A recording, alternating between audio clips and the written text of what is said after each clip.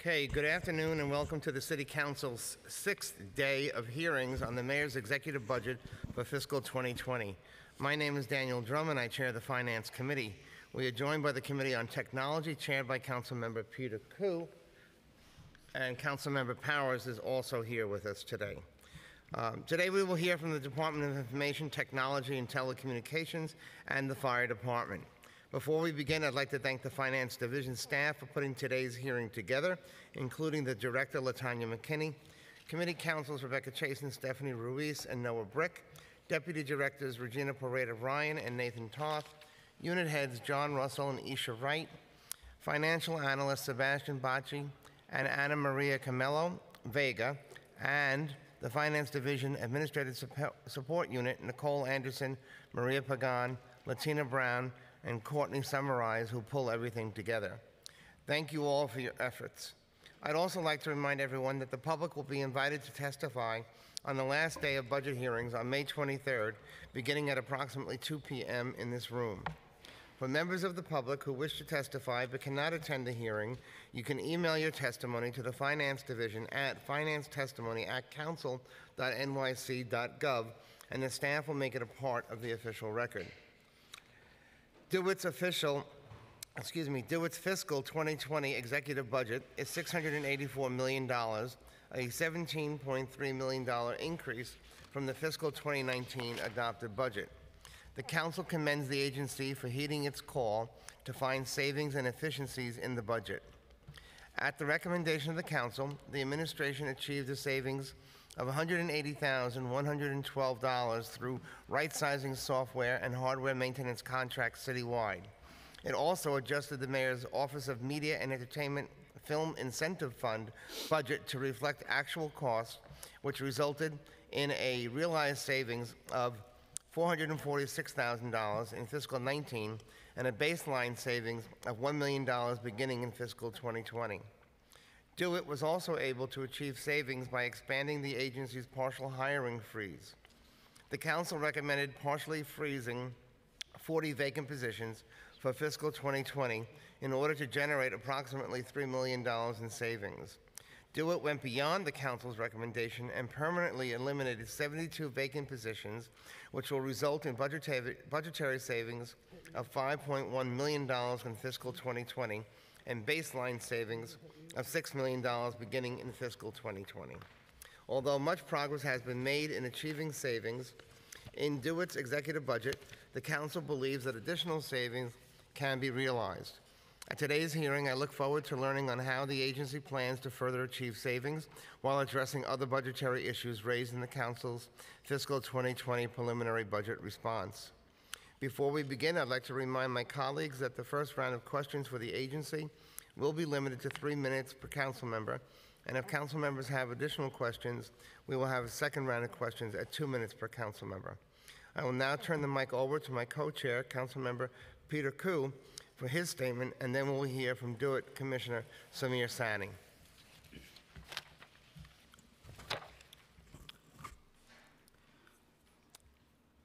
Good afternoon, everyone.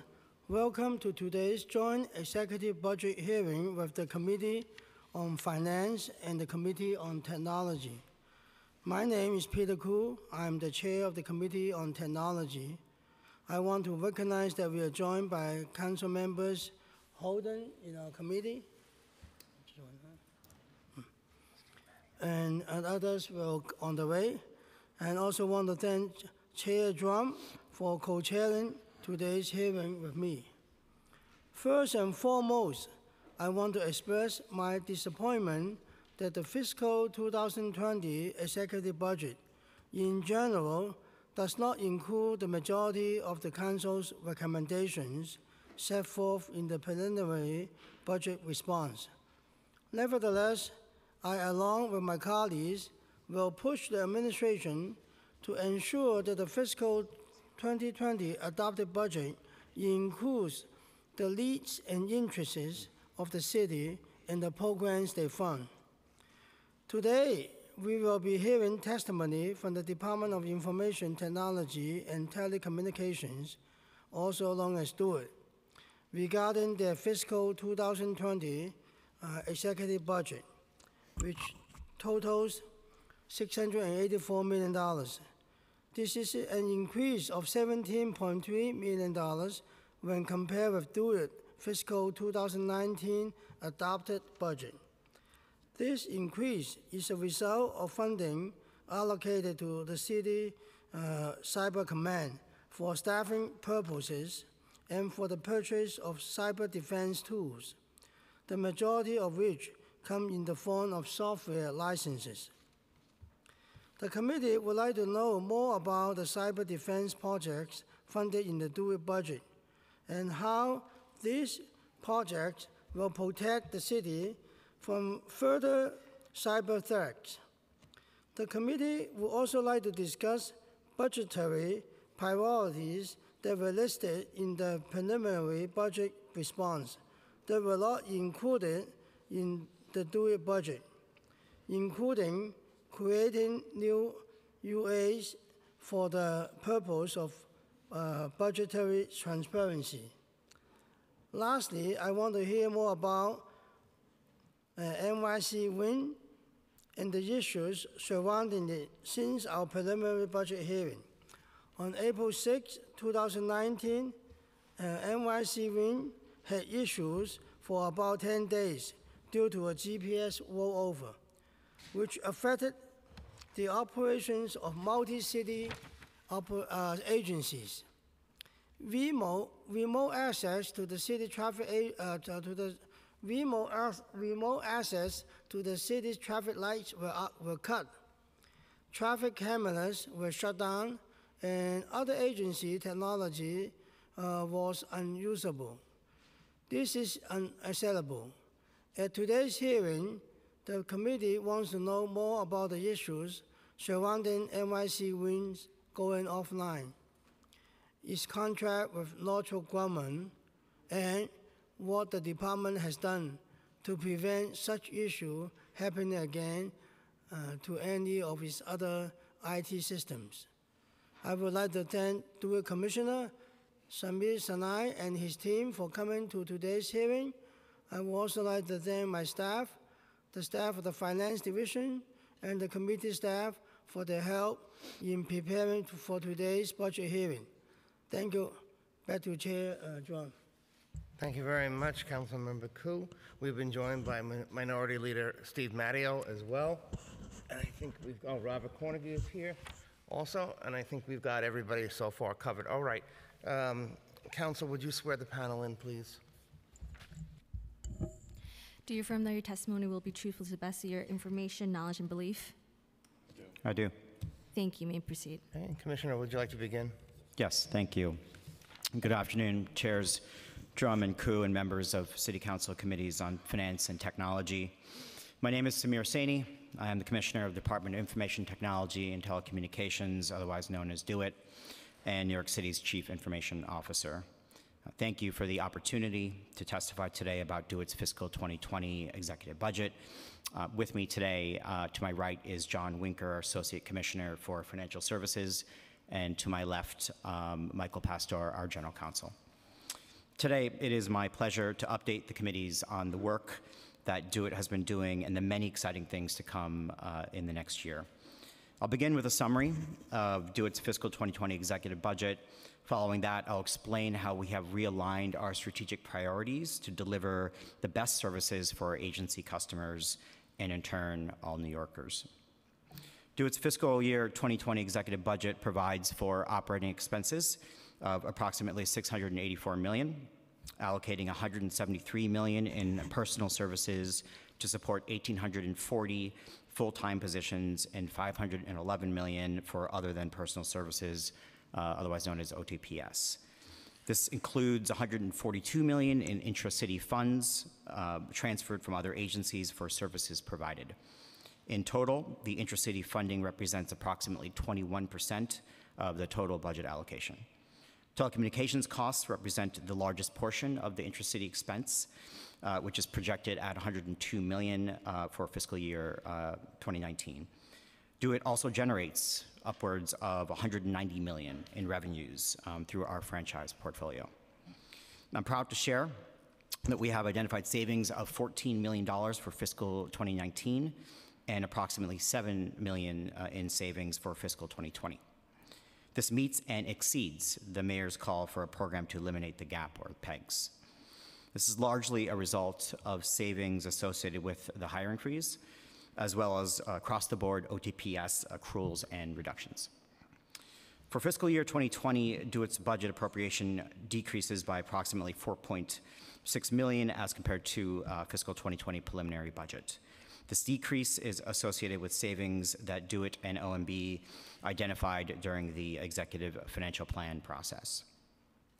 What I've described so far are simply the changes to our budget, but what I want to emphasize is how we are how we've streamlined appropriation will um, how our streamlined appropriation will support all of the work in our purview, including managing technology projects, architecting complex IT solutions, administer, uh, administering citywide um, IT service contracts, and that's just to name a few of the dozens of services uh, that we provide for the over 100 uh, governmental entities that rely on these services every single day to keep New York City running.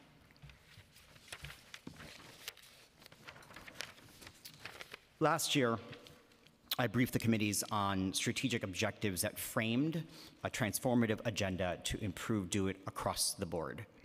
I'm proud to say, in working with DoITT staff and our agency customers, we have both refined and expanded these objectives and have been working every day towards implementing them. We have been laser focused on improving the customer experience for our agency partners with whom we collaborate to deliver technology that keeps the city running.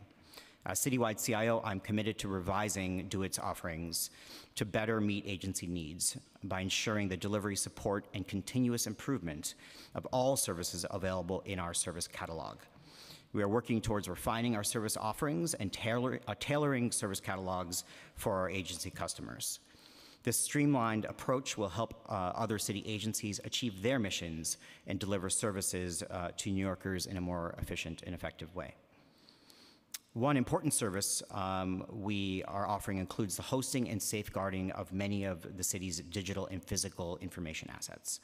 We strive to further strengthen the reliability, security, and resiliency of these operational services.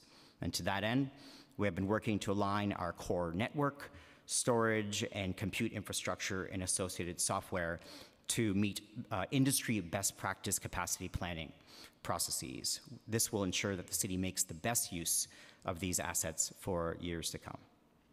Another enhancement we are planning uh, to add to our service catalog is the simplification and acceleration of the deployment of applications and software services um, for our agency customers. We have begun to adopt a quote unquote application uh, platform as a service model that will give agencies direct control over their application build, increasing agility, reliability, uh, resiliency, and responsiveness. It will facilitate more effective deployment and quality of applications by reducing the time it takes for an agency to design, build, test, launch, and, and also continuously improve these applications over time.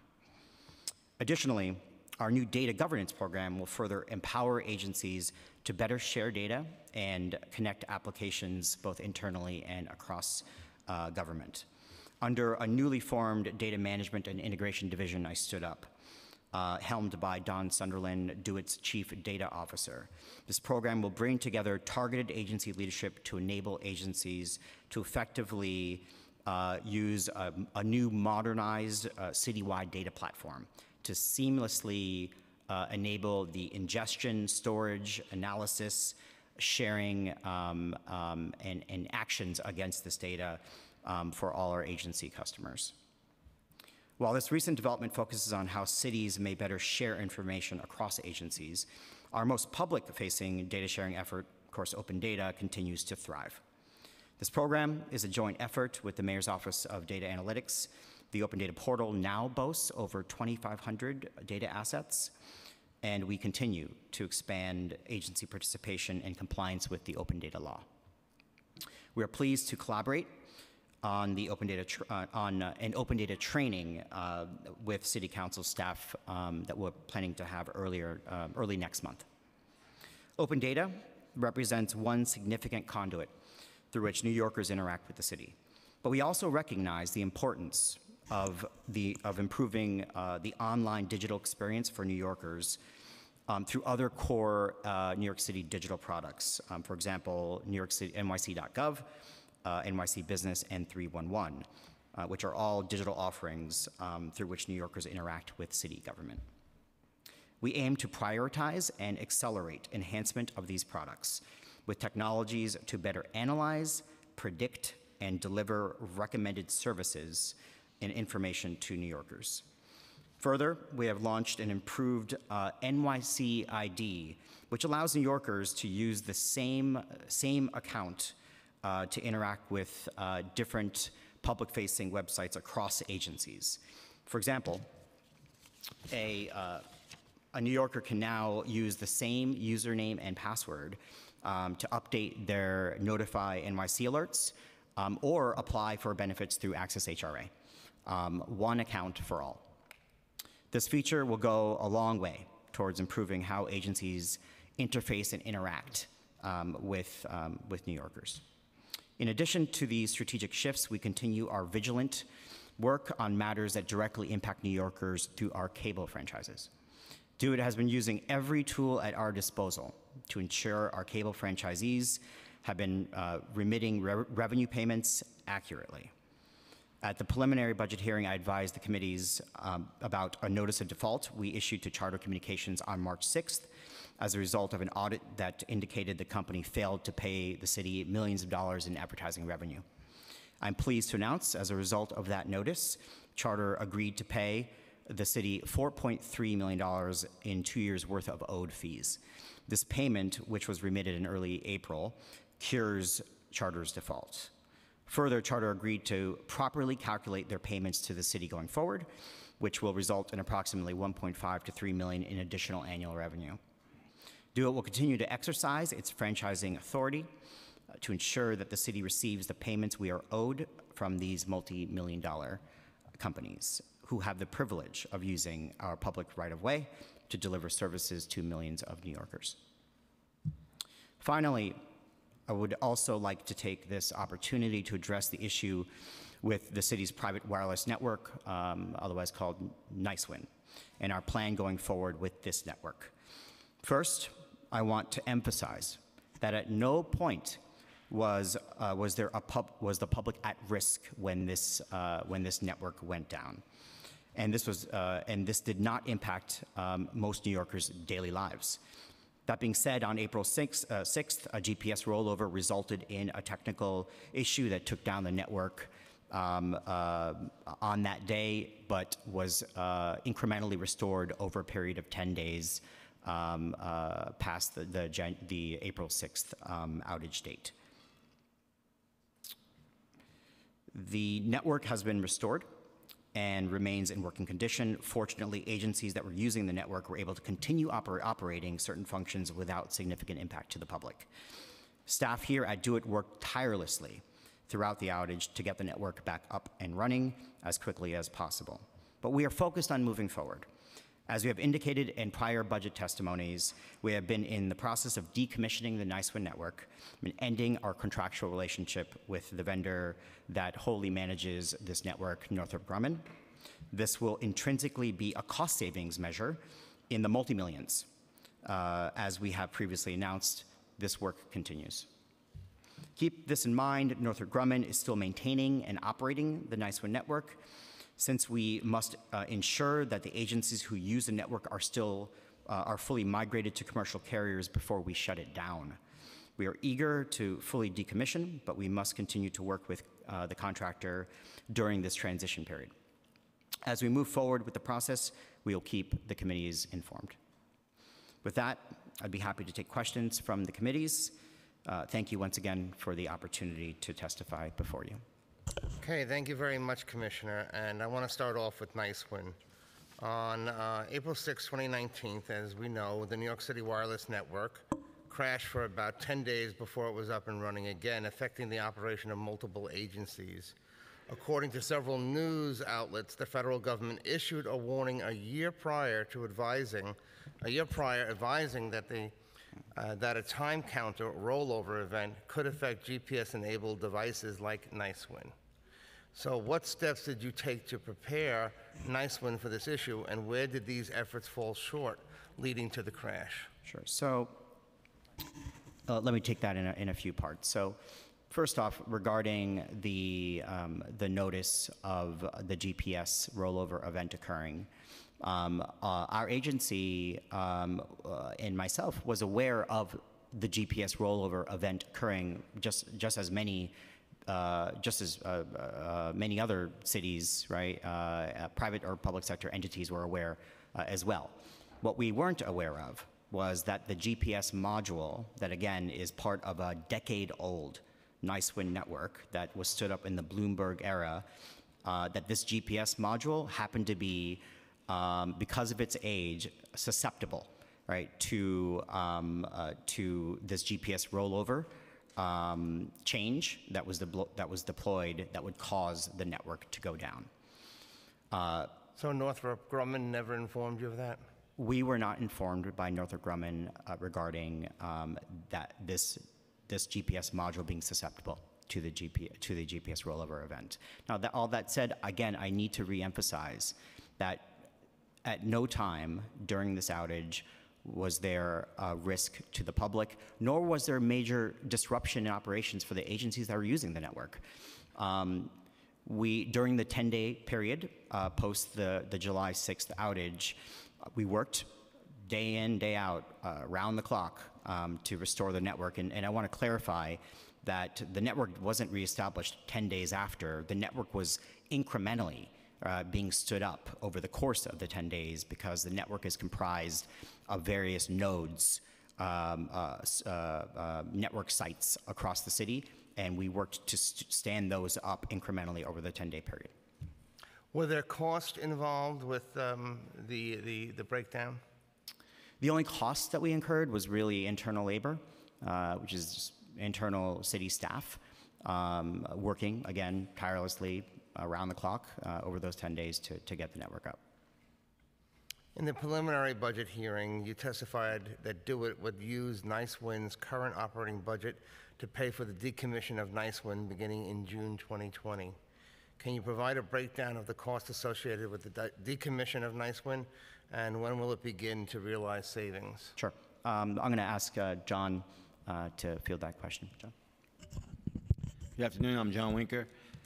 Yes, beginning in uh, the end of FY '20, which is June 2020, we will see uh, sites being taken down and start to see savings related to leases, uh, data circuit costs, um, and primary electricity. Those are the types of costs we'll we'll start to see coming down ultimately, when everything is off, we'll be able to decommission all of the, the spectrum that we're using to, to, to transmit all the services. So we anticipate that to take 18 to 24 months. So it, sometime in FY, well, I would say FY '23, we'll start to see savings.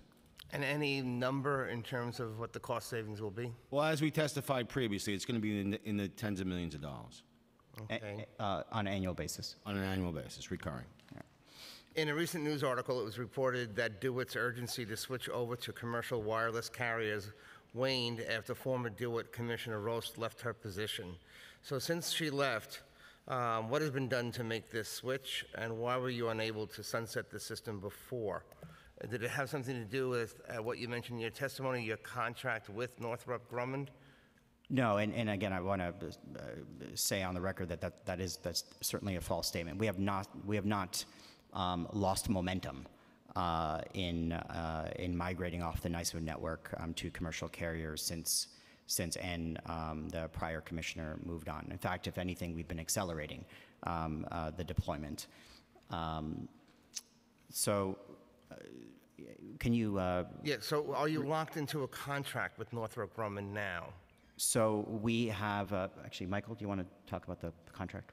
Uh, Yes, we have a contract right now, um, um, but when you say locked council member, I mean, I think the, the contract itself is not the thing um, that's keeping us from migration. These things, it's a big project, a project that's been around for a long time. We have plans to migrate, but these things do take some time for the changeover to occur. So is that like maintenance? Is that what, is that what the contract is for now? And, and running the network. And running the, net- okay, Exactly. running the network. All right, um, let me just go to another topic. Um, Special Education uh, Student Information System, SESIS. Uh, I used to be a New York City public school teacher, and am somewhat familiar with the issues regarding SESIS from its start. Um, The city has announced that do it, that the DOE will stop using the SESIS system, a centralized online management tool for IEPs and special education records, and will perform such services in-house. However, in a recently issued RFP, DOE was said to be seeking proposals for a new special education data management system to replace SESIS. So have we given up on doing a new system with SESIS in-house and now going to outside vendors for that system? So, so let me, let me first state that um, DOE, DOE um, and this initiative um, around SESIS is, is being managed by, uh, by that agency, right? Um, and from a technology standpoint, their, their CIO, right, and their IT staff. Um, the involvement. Do- I met with some of your staff. Right, uh, I was going to say. In my office- okay, go Sure, ahead, I just- I just want to describe, they wholly, of course, own this, but we are providing advisory, uh, architectural sort of advisory services from our, um, from one of our divisions to help support them, right, with um, uh, making the right decisions around what platform they should move to uh, and adopt to ensure um, uh, that the system meets their, their, their short and long-term requirements. So when I did meet with, um, uh, with, with folks from your, from, from Do It, um, maybe a year and a half, two years ago, at that time, Do It was going to revise the system itself. Is that plan completely over now? So we are, we're partnered with DOE on providing advice for them around what we believe the right architecture is for the So they're solution. looking for a new system? They are looking for a new system, and we're simply helping them out with the decision-making around that, uh, And as you're we do with working other with them on that? They've, they actually came to us uh, seeking uh, advisory support uh, around it, so we're providing that service. Um, Do It's current year budget uh, includes 5.7 million for tech-related work uh, for SESIS. So is, what's the proposed scope of that work um, for the revisal of that program? Uh, John, can you, uh, We're p- primarily purchasing consultant services with, the, with those funds. So they're outside consultant services? Correct. Do you know if um, one of the purposes of the new RFP is to make it um, so that it can communicate with other systems within the? DOE? I believe so. Yeah, I, I know that for certain. Uh, You- It's one of you the do? key, one of the key requirements um, for this system, as I remember in some of the meetings I was in, um, is interoperability. Uh, was really the key word, ensuring uh, ease of integration um, uh, of SESIS with other, other DOE uh, systems. It's a key requirement. Has any of your discussions with DOE been around uh, tracking UPK or uh, 3K as well? Uh, So I can't speak to that, um, but I can certainly um, uh, uh, uh, discuss that with my team offline and with DOE and, and get back to you. Yeah, I'm interested in that. I do have a piece of legislation that would, um, is asking DOE to begin to collect that data, and uh, particularly um, because um, oftentimes CBOs are involved in it, and I'm just wondering how, the- or what that would look like, um, because they're a little bit organized different than the regular uh, K to, K to 12 programs within the DOE. Understood. I, I can set that up. Okay. Uh, The hiring freeze savings. Do It will realize savings of $5 million in fiscal 2020 by permanently reducing 72 vacant positions. Um, Where were these, where are these positions allocated? Where were these positions allocated across the agency? And will the reduction of these vacant positions have an impact on Do It's essential operations? Um, I'm going to have John uh, field that. Sure. Obviously, those vacancies are spread across the whole organization. We're looking at, we're currently assessing where to take those in the most strategic way to avoid impact to operational services. So Or will you- Minimize that impact. Will you get back to us on that before we make a decision with the budget? I asked this yesterday from the Department of Buildings because they were given um, a, um, a goal to meet, but did not yet know where the cuts were going to come from, and it sounds to me the same for you. It is the same. Uh, This was a citywide program in terms of the baseline allocation of these reduc- redu- reduction in heads, so we are assessing where we're going to take those in the Okay, so hopefully we'll get that information within the next couple of weeks or so? Yes. Okay, thank you. Um, The Mayor's Office of Media and Entertainment, uh, incentive fund savings. In the citywide savings program, DoITT will realize baseline savings of a million dollars in fiscal 2020 by adjusting the uh, Mayor's Office of Media and Entertainment uh, Film Incentive Fund budget to reflect actual expenditures. Although this is a welcome feature included in the budget, the council called for a much larger reduction in the Film Incentive Fund in our response. Have you worked with, um, I don't know what the acronym is, MOME, M-O-M-E, uh, to reduce the funding for the Film Incentive Fund? Well, the Mayor's Office of Media and Entertainment actually worked directly with OMB to come up with that target. Uh, If you have specific questions regarding where they want to implement that reduction, we could certainly take that back to MOME. Okay, and given the magnitude of the state's uh, credit, uh, why do you think the Film Incentive Fund is effective? Has anyone ever conducted an analysis of its efficacy? Again, we could take that back to MOME and have them get back to us. Okay, all right, look forward to hearing from you on that. And with that, I'm going to turn it over to uh, Chair Koo. Thank you, uh, Chair Dromm. Commissioner, uh, my question, first question to you is on um, New York City Wireless Network, uh, NYCWiN. On Saturday, April 6, 2019, a GPS rollover created several issues for the network. It took over a week and a half before uh, NYCWiN was fully restored, which is unacceptable as it affected multiple agency uh, operations. Furthermore, DoITT spends approximately $40 million a year on maintaining this antiquated system. So please tell the committee how you plan to move agencies that currently use NYCWiN onto commercial carriers. Can you provide an estimate as to how much this transition would cost? Sure. So, so again, we are we're aggressively focused on transitioning off of NYCWiN to carrier networks. Uh, we have a, plan to get uh, to have all agencies um, uh, leveraging NYCWiN today onto those carrier networks by next year. Um, we have a, a the, the plan um, is is uh, is divided by agency because different agencies have different assets and services that they're they're using nice the NYCWiN network for. Um, some agencies will get to uh, the carrier networks first, right? Uh, some second, some third. Um, but again, we're we're we're working very hard with those agencies, right, to um, to accelerate that timeline to get them get them off of NYCWiN and and uh, and and then initiate the decommissioning, right, of the NYCWiN network itself. So what was the type of work DoITT technician did to fully restore my MIC Wing?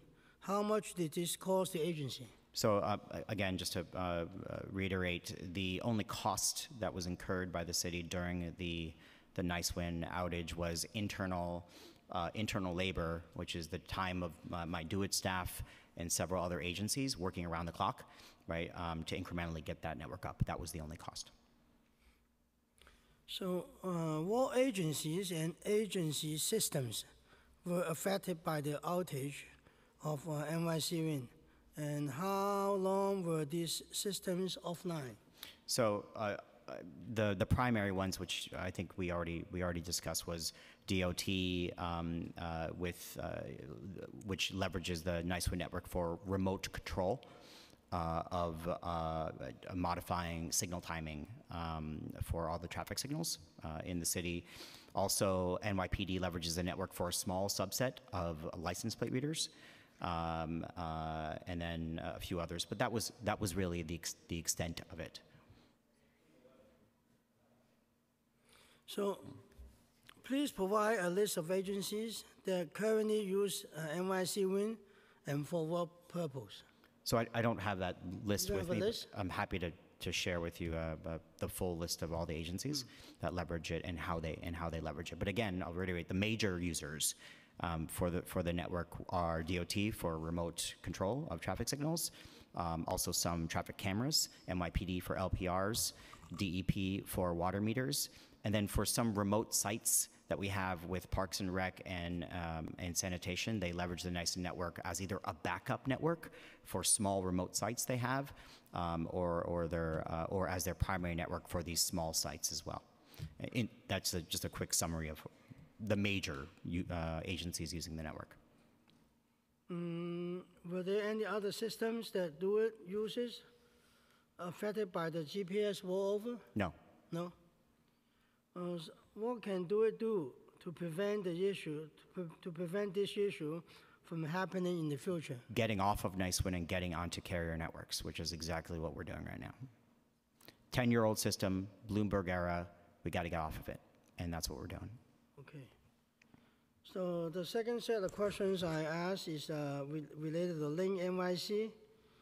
Uh, Actual revenue brought by the Link NYC kiosks from 2015 to 2018 shows that the kiosks initially did not sell enough advertising to meet the CityBridge minimal annual guarantees of revenues to the city. In fact, between 2015 and 18, actual revenues for the kiosks fell short $20.1 million from what was listed in the minimal annual guarantee in the franchise agreement with CityBridge. In what ways have you worked with CityBridge in order to receive the minimal annual guarantee of revenues from the Link NYC kiosks? Great. Um, I'm going to ask uh, Michael, our general counsel, to, to field that question. Good afternoon, Chair. Uh, Just one quick um, starting point about the question of actual revenue. So um, there can be confusion as to um, focusing on the revenue of CityBridge, the franchisee, um, because they track their revenue on an April-to-April basis, and we obviously from the city government track our revenue from a fiscal year, fiscal year, June to June. If you compare those, it can look like there's a discrepancy when there, when there isn't. Um, With respect to uh, revenue, Chair, um, you know, from the city's perspective, the revenue requirements are set out in the franchise agreement um, in the minimal, minimal annual guarantee. Uh, all those payments have been paid to the city, and we would expect that all that all that they will. So, from the city's perspective, from a revenue perspective, it's all set out in the in the franchise agreement, and that's where our expectations come from the revenue that we will expect to see and have seen already.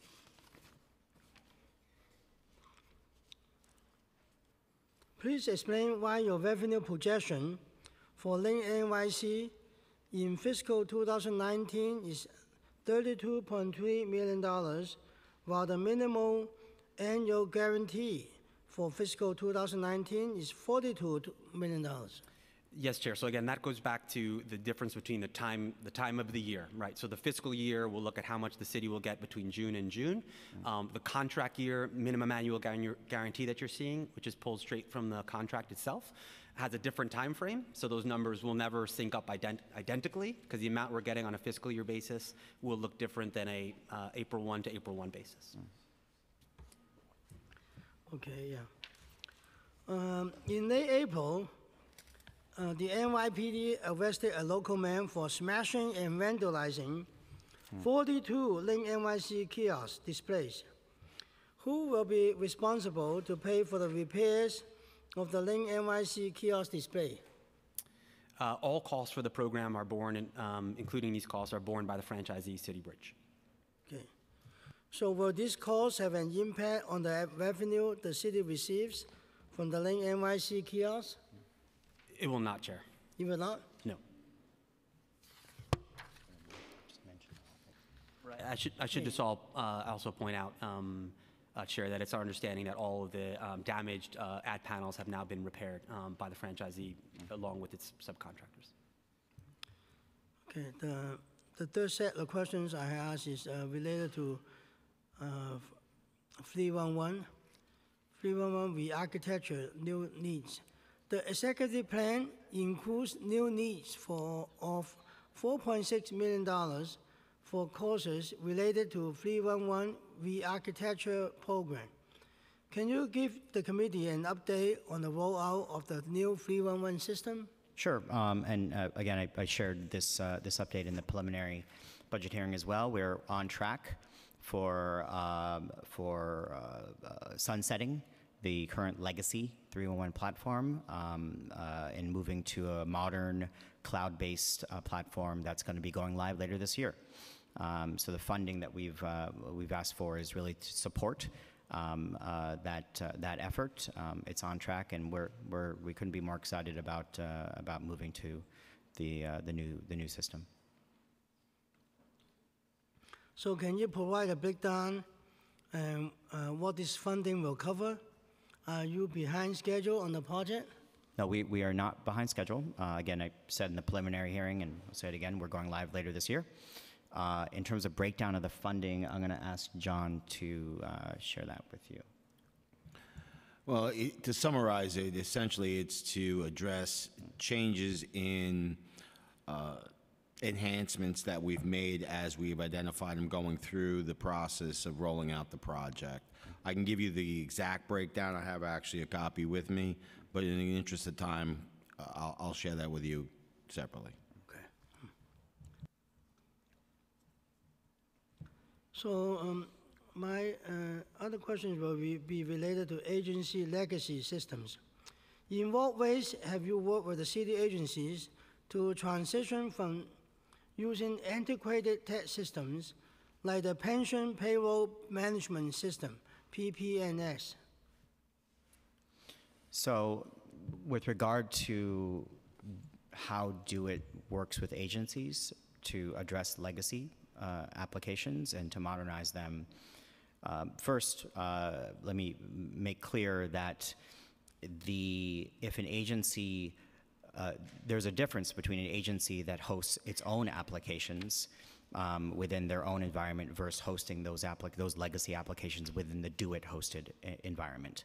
Um, where an agency has a legacy application um, uh, that's hosted within our data centers, um, we actually work work with those agencies to first highlight what what is legacy, what uh, what legacy components uh, exist within within their applications, and then work with them to lay out a strategy for for modernization. We're actually doing this very aggressively right now on a number of fronts to evaluate uh, some systems that we have that are operating on legacy operating systems um, or legacy databases. Um, so uh, uh, to that extent, that's what that's how we support agencies um, to address legacy. That's man, that's within the DoITT hosted environment. Outside of that, we uh, uh, uh, agencies um, handle uh, legacy modernization on their own. Uh, Commissioner, in your response to the committee's preliminary budget follow-up letter, you mentioned that DoITT has an attrition, attrition rate of 8.3%. So does the agency have trouble with retaining employees? If so, please describe the reasons uh, why this is the case. Actually, attrition rate of 8% is, is, is customary across the city. I mean, it's actually f- fairly low. So we don't have an issue of retaining people. I mean, ultimately, you want to see people move on with their career and succeed. So I wouldn't necessarily say it's a bad thing, uh, having that level of attrition rate. So I finished my questions. I yield to Chair Dromm.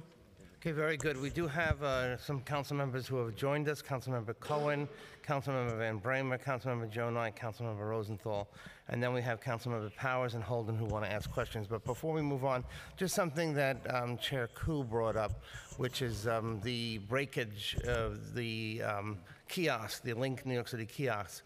I was actually, the thing that was surprising to me was that there are cameras in there and I didn't realize that. Wh- what is done with those cameras? Is that are those cameras capturing footage of anybody who passes by, or and then what is done with that with that footage? That's a great question. I- I'm going to ask Michael to, to elaborate on the cameras. Happy to take that, council member. So yeah, so the links do have cameras. Um, the purpose of the cameras are to uh, secure the kiosks themselves. Um, to, to be utilized in the event that there is vandalism or damage done to the kiosk, the cameras are there uh, to catch that. Um, what is done with the video data? First of all, the video data is kept encrypted by CityBridge, um, and um, what can be done with the data is strictly, you know, prescribed by the privacy policy that uh, we have with CityBridge. Um, and what that privacy policy says is that the data is kept no more than seven days and then is completely destroyed unless there is a request in, um, related to a specific incident. Uh, I sh- should also point out, as it relates to the privacy policy that I've just described and the seven-day deletion requirement in there, the privacy policy is part and parcel of the franchise agreement and is binding on the franchisee. Um, so uh, the video footage is there to uh, deter uh, vandalism and to catch people who vandalize the kiosks, um, but it is destroyed after seven days. And what would it take to uh, secure um, outside viewing of those, um, of the video? You would, you would need to be a law enforcement and have a legal basis to, to obtain that video data. Would they need a warrant? Uh, I wouldn't want to go through every single law enforcement body, but they would need to comply with legal process, which normally would probably require a subpoena or something to that effect. A subpoena, a judicial or an administrative? It, it would, it, I think it could be either. But Which one? I'm sorry? I think it could be either, but I'd have to confirm that. It's a little concerning because, um, you know, it could be anti-immigrant, used to track immigrants. And um, it's, um, it's, it's concerning to me. Um, even though there's a seven-day storage, it ends after seven days, it, then it's destroyed? Correct. Okay, was, was that discussed at hearings before the implementation of Link New York City? So the implementation predates my time uh, at the agency. I, I, I can't say, council member, whether it was discussed. Okay, because I'm not sure that every New Yorker is fully aware that every time you pass one of those, you're being recorded. Understood. I mean, one thing I will say, council member, is that we as an agency and as administration um, consider privacy to be sort of a fundamental principle and something uh, that we strive to protect in every area that we work on. And for that reason, actually, the privacy policy we felt needed to be strengthened, and it was strengthened a couple years ago. Um, so we share that view, and, and I think in this instance, again, it predates my time at the agency, but it's something where you're balancing uh, a, a need to protect the kiosks, um, but also the privacy interests that are inherent in destroying the data. No, I hear you on that. It's just, um, it is a little concerning to me because I wasn't fully aware of that and probably would like to have further discussions with you about that. I'm So, happy to do so. okay, thank you. Uh, Councilmember Powers. Great, thank you. Just a quick question.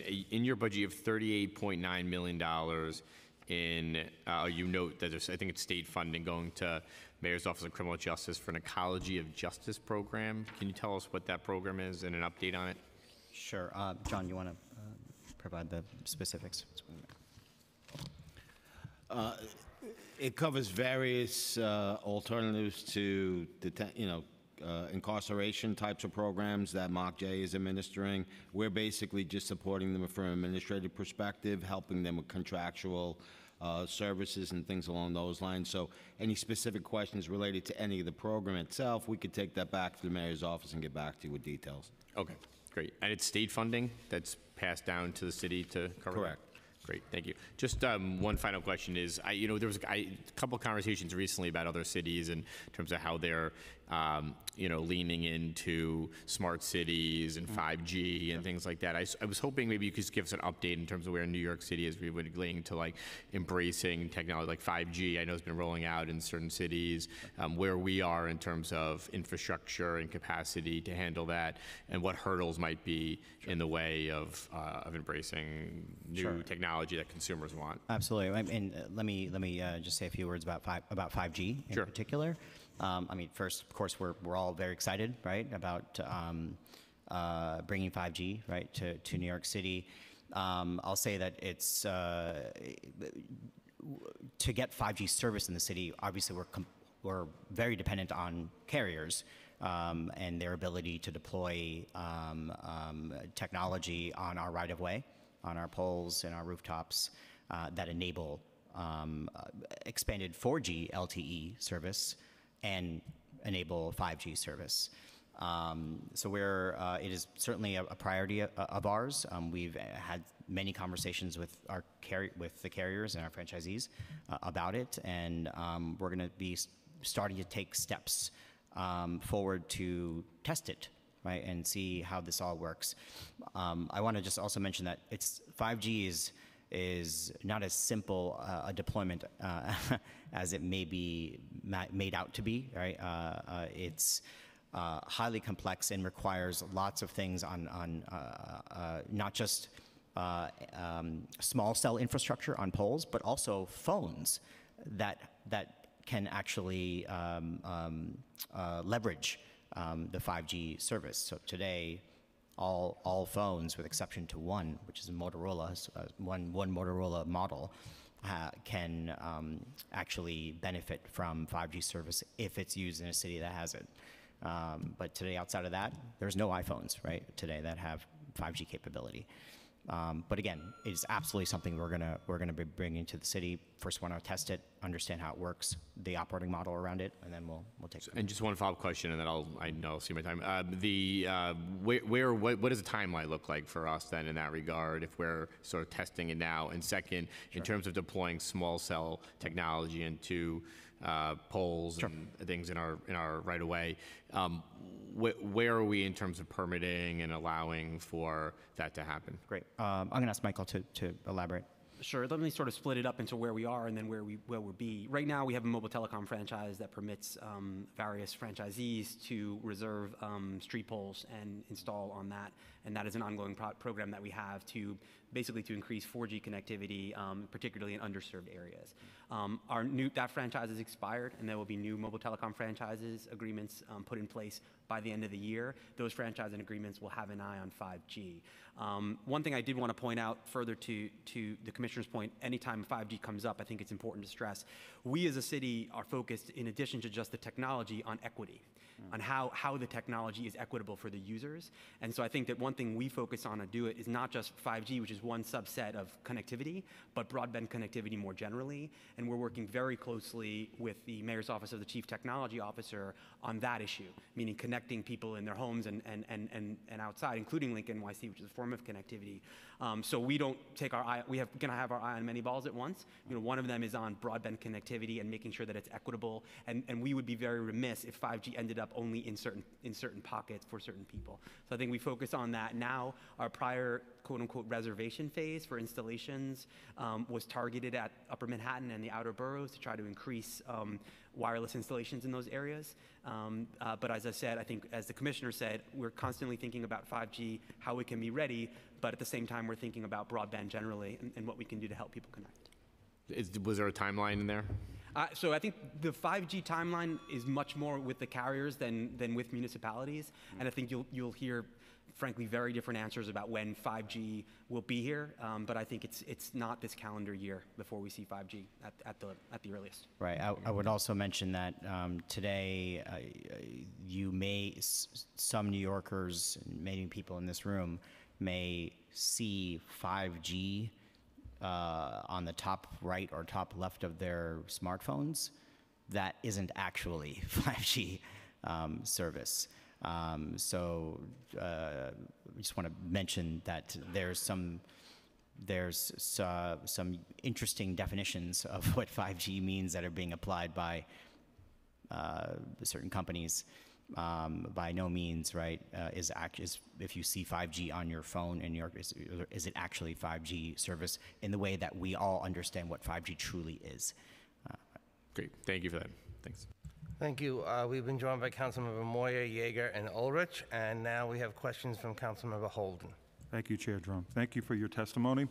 Um, Commissioner, um, let's go, I, I want to pick up on uh, Councilmember uh, Powers' 5G. Just a couple of things. I have some questions, because we met with some carriers.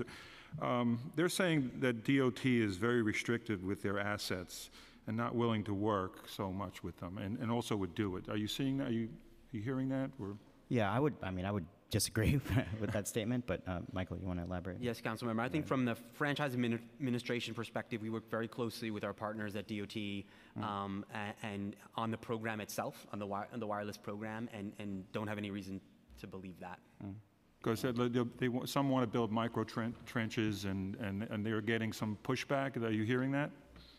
We have not, we have not heard that. And as I said, we, we work on a daily basis with DOT on this program, um, and they, we find them to be great partners a- as And we. and work. utility companies are working with you. Um, Uh, Are they a roadblock? n- No, not that I know of. No? Okay. No? All right. um, Because other cities, Houston, I guess Los Angeles, Sacramento, they have the 5G networks. Have you looked at how they're, they um, rolled it out? Again, like, uh, I want to preface that um, they really don't. I know you said they don't, they- but they do. Uh, they- They say they do, you Right. say they don't. Most phones don't work, but it'll catch up. I guess the phones will catch up. So there, so I'll uh, provide a comment, and Michael, please chime in. But for the cities that were targeted by some of the carriers as being the first cities to have to um, uh, to have 5G service, the the marketing right behind it it doesn't align to the reality right of, of what of, of uh, 5G service delivery in those cities. They're in small pockets, small zones, right, in, in a part of those cities, and they require a specific phone. Uh, also, that phone requires an additional attachment to put on top of that phone to actually receive 5G signal. Um, and uh, that is the truth behind 5G service that's being that's live in, in all these all these cities. Okay, but future phones would have. Future phones will yeah, Uh, eventually, yeah. So we, gotta- that's how we have to look at it. Absolutely, and, and again, I want, I want to emphasize, um, uh, re-emphasize Michael's point that we are we are working uh, and and discussing um, our strategy for broadband holistically, which includes expansion of 4G, LTE, 5G, right, broadband on the streets and the home, all all together with MOCTO, and and what's the best way for us to do that with a specific eye on equity. Okay, I, I'm just running out of time, so I just want to get to, I want to talk about Northrop Grumman again, just Yeah, uh, sure. on on, uh, NYCWiN. Um, That contract was supposed to expire next month, originally. Um, When did you start the changeover um, with the, with private carriers, at least working on it? So the the migration, the plan to migrate, Right. Uh, uh, started Before you, before before I I, Yeah. I um, was in this uh, in this role, and I started, of course, in February of 2018. So uh, the ball was already moving towards um, uh, uh, an agreement to go o- get off of uh, NYCWiN and and Northrop Grumman and move to uh, carrier carrier networks. and how is that process done? Is that how many, what, per- how many, you have 1,800 uh, people working, 1,840. How many people are working on that changeover? Uh, I mean, we have a- Migration. A, lar- a large team together that's that's working with agencies as well, or the agencies that are using. But so it took, it's, since you had to extend the contract, it took, it's taking much longer than you anticipated, is that it? it's we're trying to we have to we want to do this right right so i think there's been some time that we've spent um, negotiating um, with the carriers to ensure that when we move uh, service to their networks that we we get the the level of reliability right and performance um, uh, that that our agencies need. I think we've just been spending that extra time making sure those contracts and that agreement is rock solid um, because once we make the move we're Yeah, we're yeah, because the mayor wanted it out um, in past January, this past January. Now he, he said it was going to be gone soon, and then, but you're saying something different. You're saying No, year. I, I- I'm, I'm saying the exact same thing, which is we are um, we're, we're aggressively uh, working right now to, to get off of it. We will be off of the NYCWiN network on the carrier networks by next year, um, um, and in fact by June of 20, by June of next year we will be fully. But we heard the mayor say January of, last year he wanted it, uh, January of 2019. It didn't happen. And then he said, at the last press conference, I heard that he was going to uh, go off soon, but we're saying 2020 now. So, so let me uh, l- let me be more specific. So, there are many agencies that currently use the NYCWiN network. By January, there'll be several agencies that are already moved. Okay. Um, several. In fact, the majority of the agencies um, that use the network will actually be moved by then. Right. Um, the, the, the long pole, uh, no pun intended, perhaps here, is um, DOT um, and, the and moving um, traffic signal, uh, uh, traffic signals to the NICE network, which will take a little bit longer, right, than, than January, but we are absolutely, right, going to have a significant number of agencies moved by, by, by then. Thank you. Thank you. Okay, thank you. We have follow-ups, uh, questions with Councilmember Moya and Joe Nye. Thank you, uh, Chair Dromm, Chair Koo.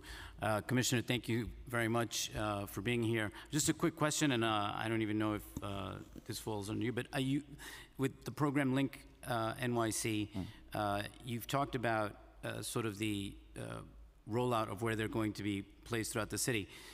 But who's in charge of the phone booths that are now decommissioned uh, on the public streets? Uh, Michael? Sure, I'm happy to take that, council member. The, the franchisee that runs the Link program is also in charge and responsible for the, the legacy payphones that are uh, on the streets. So, okay, because there's uh, a slew of them in, in the city that are now used as garbage receptacles. I- Is, is the, who- how do you, how do we go about uh, sort of contacting them to keep the maintenance of these uh, uh, phone booths that are uh, in our districts? Uh, Graffiti goes up, they break the glass, they stuff, you know, garbage in there. Uh, It becomes an eyesore. Uh, And by the time it gets rolled out, or you find a provider that can actually go into these areas, how do we fix that problem? Sure, two, two points. Number one, council member, if you have, if any of the committee has an issue with any particular payphone, you should bring it directly to me or to my team, and we can engage directly with the franchisee to see what's going on with that particular payphone. I think the second thing I will say is that we are looking at the payphone portfolio, um, and if there's a particular problem payphone where we don't see a link coming right away into that, you know, maybe we can look into that question as well. But as a starting point, we're the franchise administrators. The franchisee is obligated to keep the phones in good repair. Um, and if there's any particular issue, I would also add if there's an issue of, um, uh, uh, um, uh, is there some type of nuisance around, right, then we can engage with potentially the police department or whomever. Mm-hmm. But as a starting point, you can come right to us. It's our responsibility to work with the franchisee to make sure that the payphones are in, are in good shape. Great. And, and, and just because it's great that I know you, Michael, and I can call you. And, and but if the public hmm. wants to, is it 311? How Yes. does that How does that work? Yes, three- 311. Well, the public can, public can and does call us frequently, actually, but yes, 311 would be the way to go. You Call 311, you tell 311, this is where there's a problem at this payphone, and that would be directed to the right people. Right. Great. Um, offline, I'll get you some some You know locations. where to find us. Thank, thank you, Michael. Thank you, Commissioner. Thank you. All right, You can, you uh, can call me, call me as well. Yes. Thank you. Okay, thank you. Councilmember Gjonaj. Thank you, Chair. I just wanted to piggyback uh, on a question that the Chair brought up uh, with regard to the kiosks. Are those cameras using facial recognition software? They are not. Is there any intent in the future to have facial? Absolutely not. In fact, facial recognition is, is uh, effectively banned, right? Under the privacy Under the current privacy policy that we have in place. Good. Uh, Your involvement, to what degree with August cameras? Is it your software? Um, Uh, The, The police uh, cameras that are used to monitor traffic and whatnot that are placed in locations throughout the city? I, I, that is not our, Yeah. that's not our technology. yeah, that's, an- that would be NY NYPD, right? So you have nothing Who to wholly- do with- Wholly manages that network, that camera network. I see you have a lease adjustment um, for fiscal 2020 uh, through 2020, through 2023 for $1.1 million. How much property do you actually have that is city-owned, and how much do you have that is leased from a third party? Got it. Uh, John, can you take that? The- We only have one city-owned, pro- we have space in one city-owned property, and that is at the municipal building. Everything else is privately owned, and there's probably about another half dozen sites or more Half dozen sites that are leased. that are leased. You have the Metrotech sites, you have 255 Greenwich, you have 59 Maiden Lane, so that's already five right there. And there's one up on Broadway as well, so it's six, six private, one uh, public. How many total square footage are we referring to? I would have to get back to you with the square footage. When was the last time we've gone through a vacancy uh, on the leased properties? Um, Do we have any square footage that is not being utilized? Are we uh, over-leasing properties? No, actually, with the amount of vacancies that we have, we are actually challenged for space. Yeah, we're full. Your fault. There's, there's very little space uh, that we have. So long-term, you're going to be looking for additional space? Potentially. I hope that'll be a city-owned Well- property Well, that's why I said potentially in terms of, in terms of additional cost. If we can find some city-owned space, then obviously there would be no additional cost. The reason I bring this up, uh, and I'm finding this out from agency to departments, on city-owned property, we have tremendous amount, when I say tremendous, one square foot of unutilized space while we're leasing additional space from private third-party landlords is a problem for me. We're not, you, we're not spending taxpayer dollars wisely. And I'm going to be hopefully working with you on your needs in the future to make sure that we find space within our own city-owned properties versus third-party landlords uh, when we have the space. And I'm, I'm hopeful that we'll set an example on how to best utilize the properties that we own. Obviously, the, the best people to engage that conversation would- would be DCAS, since they manage the lease. Right. Yeah, I don't think DCAS has gone through it with a fu- fine-tooth comb. Um, And the definition of vacant space, uh, I think, is loosely defined. Thank you. Similar to your 5G proposal. Okay. Thank you very much. This is the end of this portion of the hearing. We appreciate you coming in, Commissioner, you and your team, and uh, we'll be talking to you. Great. Thank you very much. Thank you very much. Okay, We're going to take a five-minute break, and then we will start with the fire department.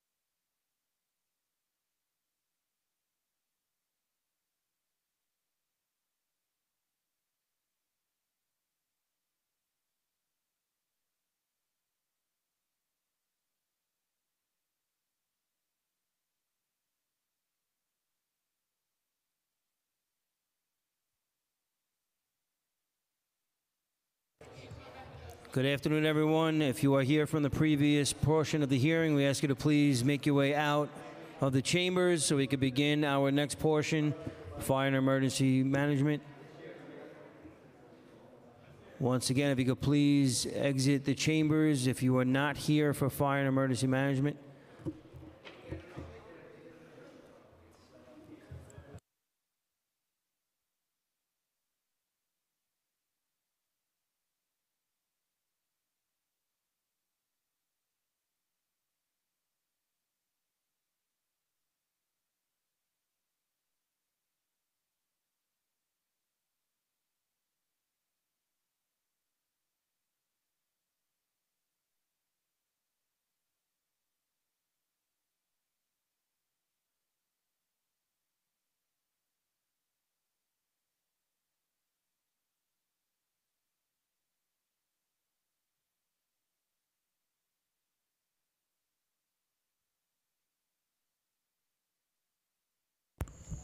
If everyone could please find their seats, thank you. Please find seats. We're going to begin.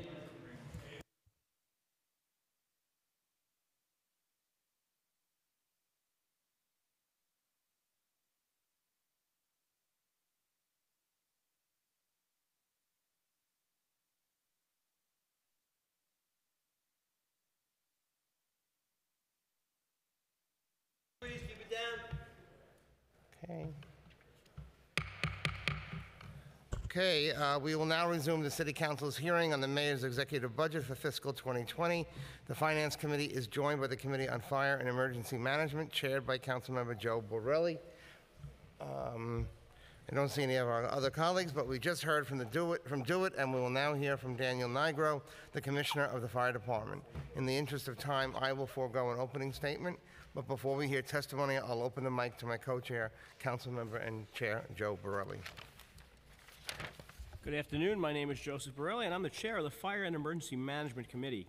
I'm pleased to be joined by Finance Committee Chair Dromm and my colleagues today. Uh, today's fiscal year 2020 executive budget hearing to review the fire department's budget. Uh, the committee will review the fire department's proposed budget for fiscal 2020, its 2019 to 2023 capital commitment plan, and its 10-year capital strategy. It is important to note that both the expense and capital plans do not include any of the new needs called for by the council. On April 9th, we released our fiscal year 2020 preliminary budget response, which presents a unified vision for the, of the council for increased accountability in the budget process, while at the same time shoring up the city's social safety net to protect our fellow residents in their times of need, uh, and providing resources that access opportunities for upward economic mobility.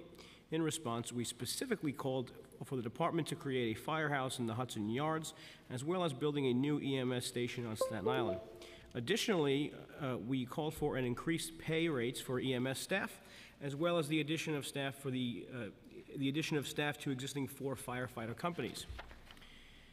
These are the needs that the community has been pushing for that are key to the success- successful development of public safety across the city.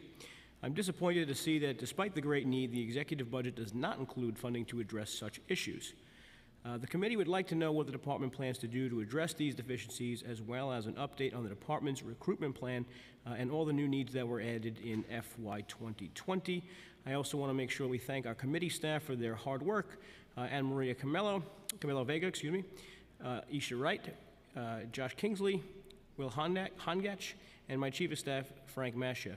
I'd like to welcome you, Commissioner Nigro, uh, and all your folks. And I, I want to, I just want to point out, not that you get distracted, but we do have a slideshow this year. So just prepare to be wowed. Prepare to be wowed. I am. Thank you. Thank you very much. Thank you. I'm going to ask council to square the panel in.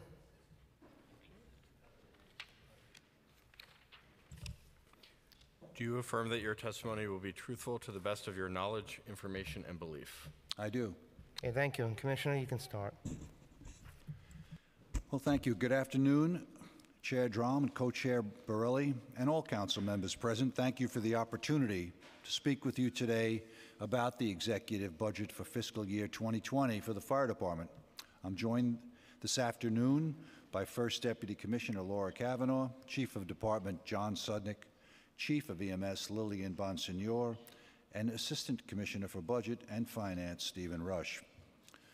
First, I'd like to recognize the terrible tragedy that befell our city last week when a fire in Harlem caused the death of six family members, including four children. The fire was caused by unattended cooking. Unfortunately, there was no working smoke alarm present in the apartment where the fire occurred. The next day, we had another fatal fire in Manhattan where again there was no working smoke alarm. We have for several years now worked aggressively to spread the word about the importance of having working smoke alarms in one's home or apartment. In November 2015, we launched a campaign called Get Alarmed NYC that committed to distributing and installing 100,000 smoke alarms throughout the city. Thanks to help from the City Council and City Hall, along with other partners, this initiative has so far resulted in more than 200,000 smoke and combination smoke CO alarms being distributed to New Yorkers, many of which were installed in homes by Red Cross volunteers. The latest shipment of alarms, more than 60,000, have just been delivered to the department, and we will continue to distribute them and install them in homes in areas of the city where incidences of fires and fire deaths continue to occur. We will be contacting elected officials, community stakeholders, clergy leaders, and partner organizations to coordinate distribution events. I look forward to working with the council members here today and with your colleagues to get these alarms to the people who need them. One other update I'd like to share with you is a recent change in senior leadership at the department. Following the retirement of Chief, Chief James Booth, last week I appointed Lillian Bonsignore to the position of Chief of EMS. Chief Bonsignore, who has 28 years of service with FDNY, is the first woman in the history of the department to serve as the highest ranking officer in EMS. She is also the first open member of the LGBT community to hold the post. Along with Chief Bonsignore's appointment, Alvin Suriel has been promoted to Assistant Chief of EMS, the second highest uniformed rank. Chief Suriel, who has 30 years of service, is the first Hispanic member appointed to the role. In addition to the distinguished work that they will do on behalf of the people of New York, I am proud that Chief Bonsignore and Chief Suriel will also serve as examples of diverse leadership as we continue our mission to build a fire department that reflects the diversity of the city we protect.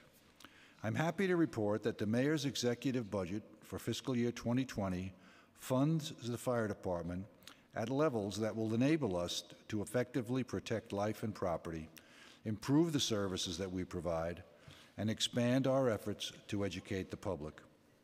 The budget provides $43 million over two fiscal years to fund an expansion of the Fly Car pilot program. Under this system, we send an advanced life support, ALS Fly Car, which provides paramedic level care, and a basic life support, BLS ambulance, which provides EMT level care to each potentially life threatening emergency. Whichever unit responds first is able to immediately begin providing care. The ALS unit provides an advanced life support level assessment, and the BLS unit transports the patient to the hospital. The ALS unit only accompanies the patient to the hospital if the patient needs ALS level care, which happens on less than half of all responses. This frees up the ALS crew faster, allowing them to respond to the next call and streamlining our ability to get the appropriate level of care to each patient. Beginning in October 2019, the FlyCar program will be extended to cover the entire borough of the Bronx. With this additional funding, we'll transition the rest of our ALS ambulances in the Bronx to fly cars. As we begin the expansion of the program this fall, we will add 17 additional fly cars, resulting in a total of 27 fly cars across the borough during our busiest hours. Other EMS funding in the executive budget includes $2.6 million to enable the department to take over six ambulance take over six ambulance tours that were previously run by Montefiore Medical Center. This includes funding 28 positions, and it will increase the percentage of tours in the 911 system that are operated by municipal units to 67%. The budget also funds 16 new positions in emergency medical dispatch. These positions will be used to support the creation of a quality assurance team and to maintain span of control within emergency dispatch. Another commitment in this budget is $2.6 million in fiscal year 2020 for improvements at the EMS Academy at Fort Totten, in addition to 8 million in capital funds in fiscal year 2020 and $50 million in capital funds in fiscal year 2021. This will fund fiscal improvements and allow the department to hire additional instructors, which will enable the department to increase class size so that we can train more EMTs and paramedics. Another major commitment in the executive budget is $3.2 million in fiscal year 2020 for technology pro- projects. I am pleased to provide the council with a few updates on education and outreach matters that we've previously discussed here. The department is working with the Administration of Children's Services and American Red Cross to train approximately 3,000 frontline child welfare staff throughout 2019. ACS workers learn how to examine homes for potential fire hazards and refer families to the Red Cross for smoke alarm installations. As of the end of April, over 400 workers have been trained. We have also continued our partnership with the Department of Youth and Community Development. On April 24th, our two agencies carried out the second annual Youth Firehouse Initiative. More than 2,400 kindergarten through fifth grade students from the DYCD Compass after school program visited more than 50 firehouses, meeting with members of the department and receiving fire safety education instruction. We are also looking forward to another round of our very popular citywide open houses in the fall. I thank the Council for your partnership and ongoing support as we carry out the mission of protecting the lives and property of the people of New York. And I'd be glad to take your questions at this time. Thank you very much, Commissioner. And uh, we have been joined by Councilmember Cabrera and Councilmember Maisel. And let me also start off by thanking you for appointing Chief Bonsignore and also Chief Suriel. Um, it's great that you have done that, and um, you know that diversity really reflects New York City. And as an openly uh, gay man myself, I'm really proud to see Chief Bonsignore here also. So congratulations and, and thank you very much. Um, as part of the uh, PEG program, the FDNY had an initial PEG target of 6.5 million. The FDNY exceeded the target, and the fiscal 2020 executive plan introduces a total savings of 10.5 million. Part of the savings includes implementing a hiring freeze of 54 positions in fiscal 2019 and in the out years. Can you identify where these positions will come from and how the hiring freeze will impact the department's operations? Uh, I'll let someone else give you details. I do know that it does not affect the, our members who respond and carry out the primary mission of the department. That's uh, firefighters, EMTs, and paramedics. Okay. Councilmember, we're working on some of the details on where the units that will be cut. We're still working with OMB on this. I will tell you that areas like fire prevention, which is inspection-based and revenue-based, is exempt. Obviously, EMS is exempt. Um, We're hoping there'll be some other exemptions, but those details aren't worked out as of yet. But we do have a significant number of vacancies in the department across all units, and some of those will have to be, obviously 54 of those will have to be eliminated. Okay. And, um, you know, I've been asking every um, department that comes in, if we can get that within the next couple of weeks, um, it'd be very useful to us in our negotiations. Yeah, we're supposed to provide OMB by June 30th where the reductions will come from. Okay, thank you. Um, um, In fiscal 19, savings included 7.2 million, and in fiscal 2020, expected savings total only 3.3 million, with the difference attributable to the fact that the $7 million in fringe savings will be implemented only in fiscal 2019. Why is there no uh, fringe savings anticipated for 2020? Potentially, there may be. This is federally funded money that is in our budget for fringe costs, which would be obviously transferred out of our budget. Potentially in FY '20, there could be. It's not, we have not come to that yet. And would that come with the reduction in uh, headcount The headcount would be in addition to that. in- in addition? Uh, Can you go over the department's strategy for regarding, regarding the hiring freeze? And um, how did you decide which vacant positions would be eliminated? We have not as yet decided which positions. We Right. are trying to take them in the areas that have the least impact on, on service delivery, and mostly in administrative areas. So did OMB just give you a number? O- OMB looked at our vacancies across the board, and some of the vacancies are longstanding, and therefore, they made this reduction target across all agencies. I don't know the details of how they arrived at it. Okay, because, you know, when we look at just the vacancies and we cut them, uh, the question always remains, is it a true reduction or, or is it really just a savings in terms of the headcount? No, it will be a, f- a- a reduction in full-time headcount in the budget, yes. Okay. Um, Over the, let's talk a little bit about overtime. Over the past five years, the department budgeted overtime cost at 240.5 million. During the same time, FDNY's actual overtime cost averaged 277.7 million. This means there's an average difference between the budgeted and actual of 37.2 million or 13% in overtime expenditures. Why does the uh, FDNY exceed its overtime budget? And given that it does, why doesn't your fiscal 2020 overtime budget more realistically align to the actual spending? That's a great question. Um, We traditionally um, have overtime issues in the fire department. Um, We do our best to meet the targets that are- are set by OMB. We agree that it is a challenging target, but we are expecting with additional firefighter hires and hopefully a reduction in medical leave, which impacts our ability to staff uh, fire companies, that we should see an improvement in overtime, along with reductions in our light-duty staff. So do you have any new measures that you might take to control the overtime budget? Um, Right now, there are several we're looking at on- on, in terms of medical leave controls, and as- as well as reducing the light-duty population.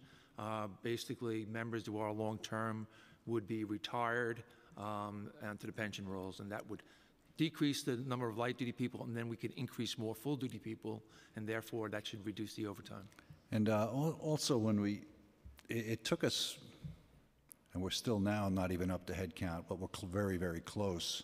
Because of a hiring freeze that, that lasted for a number of years in the fire department, we fell very far behind in our firefighter staffing. And uh, although we've hired many people over the last four years, we're just now reaching the numbers that should have some impact on, on the overtime. Previously, um, we needed considerable overtime just to staff our, our units. Are you exempt from the uh, current uh, hiring freeze or, or not? We are in the uni, on the uniform side, firefighters, EMS, paramedics, but not on the civilian side. So do you think that the department um, will be uh, affected by the freeze um, in the, in the civilian side? Well, I think, I think anyone would say when there is a, a, a limit on the people, the jobs we can fill, there may be some impact on it administratively, but certainly not on our ability to serve the public. as- Do uh, the civilians get overtime, Commissioner? Some of our civilians do get overtime. Is that a large enough number to affect or help with the overtime cost that it would see enough of a reduction there? Much of the overtime comes in areas such as mechanics and and trades personnel that take care of the firehouses. Um, And in those areas, we're going to try to, to the best possible, uh, reduce um, um, their- their cost on overtime, but um, overall, the overtime needs there will remain. So most of the overtime is with the uniformed? The personnel? uniform is, the- the- is over, you know, most of the overtime in the fire department. Approximately this year, we'll spend about $241 million in tax levy. On EMS, we'll spend another 51 million, civilian another 21 million. Okay, I don't know if we have a graphic, but we may. Um, A 10-year capital strategy. as outlined in the capitals, in the council's, uh, as outlined in the capital's preliminary budget response, the fiscal 20 to 29 preliminary 10-year capital strategy presented by the administration was not true to its name, and many of the 10-year strategy categories have a dramatic decline in planned spending or close to no spending in the second half of the strategy. The executive 10-year capital strategy still fall, fails to address planning in the, excuse me, in the out years for many city agencies, including FDNY. This has been true for education as well. Uh, did FDNY work with OMB and DCP to develop the agency's 10-year capital strategy? And what uh, did that back and forth look like? So on, on the capital strategy, on the long-term capital plan, historically, you'll see that most of the funding is front-loaded in the four-year plan, and then it decreases. But as you move forward into the, in the out years, as you get closer to the out years, the numbers are, again, negotiated with OMB, and they tend to they obviously do grow higher. Part of the issues with the capital plan is, and it's pointed out by OMB, and correctly so, and not just in our agency, many agencies, there is a challenge in spending the commit, uh, committing to the dollars in a timely fashion, and as a result, lots of times the funds roll over from year to year. So we, while we do our best, um, there is a delay sometimes on procuring things, but things like the the facilities and fleet, two of the more critical areas in the department, are usually funded fairly well by OMB. And you, so you believe that this plan is sufficient? Obviously, the out-year plan, obviously, is dropping a lot, but we're not really concerned with the out years or beyond the first two or three years of the capital plan. Okay. Um, Can you provide your retention rates broken down by gr- demographics?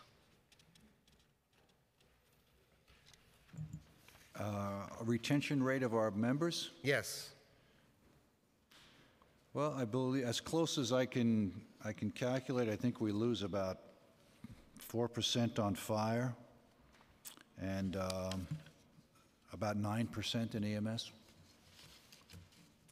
Okay. Um, During the preliminary budget hearing, you testified that the uh, most recent class to graduate from the uh, firefighter academy included 15 female graduates. What are your projections for the next class? Well, we just, uh, a class just went into our fire academy, and that class has uh, 17 uh, females. And um, last year when we spoke, um, I asked you a little bit about um, LGBTQ employees. How many of the department staff is LGBTQ? I, I don't believe we track that. I thought that you said that in some ways you do. And I was surprised to hear that, actually. We don't track it. We do try to support those employees and we try to recruit during the recruitment campaign. Um, and so we have a liaison uh, and we have a number of staff and we have a fraternal organization and we try to make sure that those resources are shared with the firefighters, but we don't track them in such a way that we could tell you uh, what the numbers were. So is the support program Fire Flag? Yeah, yep. It is? And do you know how many people are in there or how many? I don't, I don't believe they would tell us. Chief, would you know? I don't, oh, I'm sorry. Are you a member? No. Oh, we got to get you in there. I can say I've been to their meetings. There's a few dozen people at those meetings, but I don't believe they track everyone as well for privacy. I asked this, you know, because um, even, and I'm, I I have a piece of legislation that would require all city agencies to voluntarily ask people that in uh, initial stages of employment, you know, so that we can get a better feel of how many LGBT people there are. So that's where I'm coming from on this. I think it also sends a message that the department is open to it or whatever. So that's why I'm asking these questions. Yeah, one thing we do do for recruits is we let them know that there's uh, an LGBTQ uh, advocate, and we email them about that so that they can reach out proactively if they'd like to. And to be honest with you, I do see them at LGBT events and things like that as well. It's very positive. Um, now, is the department meeting its goal of diversifying uniform and EMS staff? I think we, uh, our recruitment campaign for the exam, we actually exceeded the goal. And um, And right what was now that goal, Commissioner? um, You have the, the numbers for our... We had a goal to recruit a list that represented the same demographics as the city, and we did that. We actually exceeded it by a few percentage points. By what?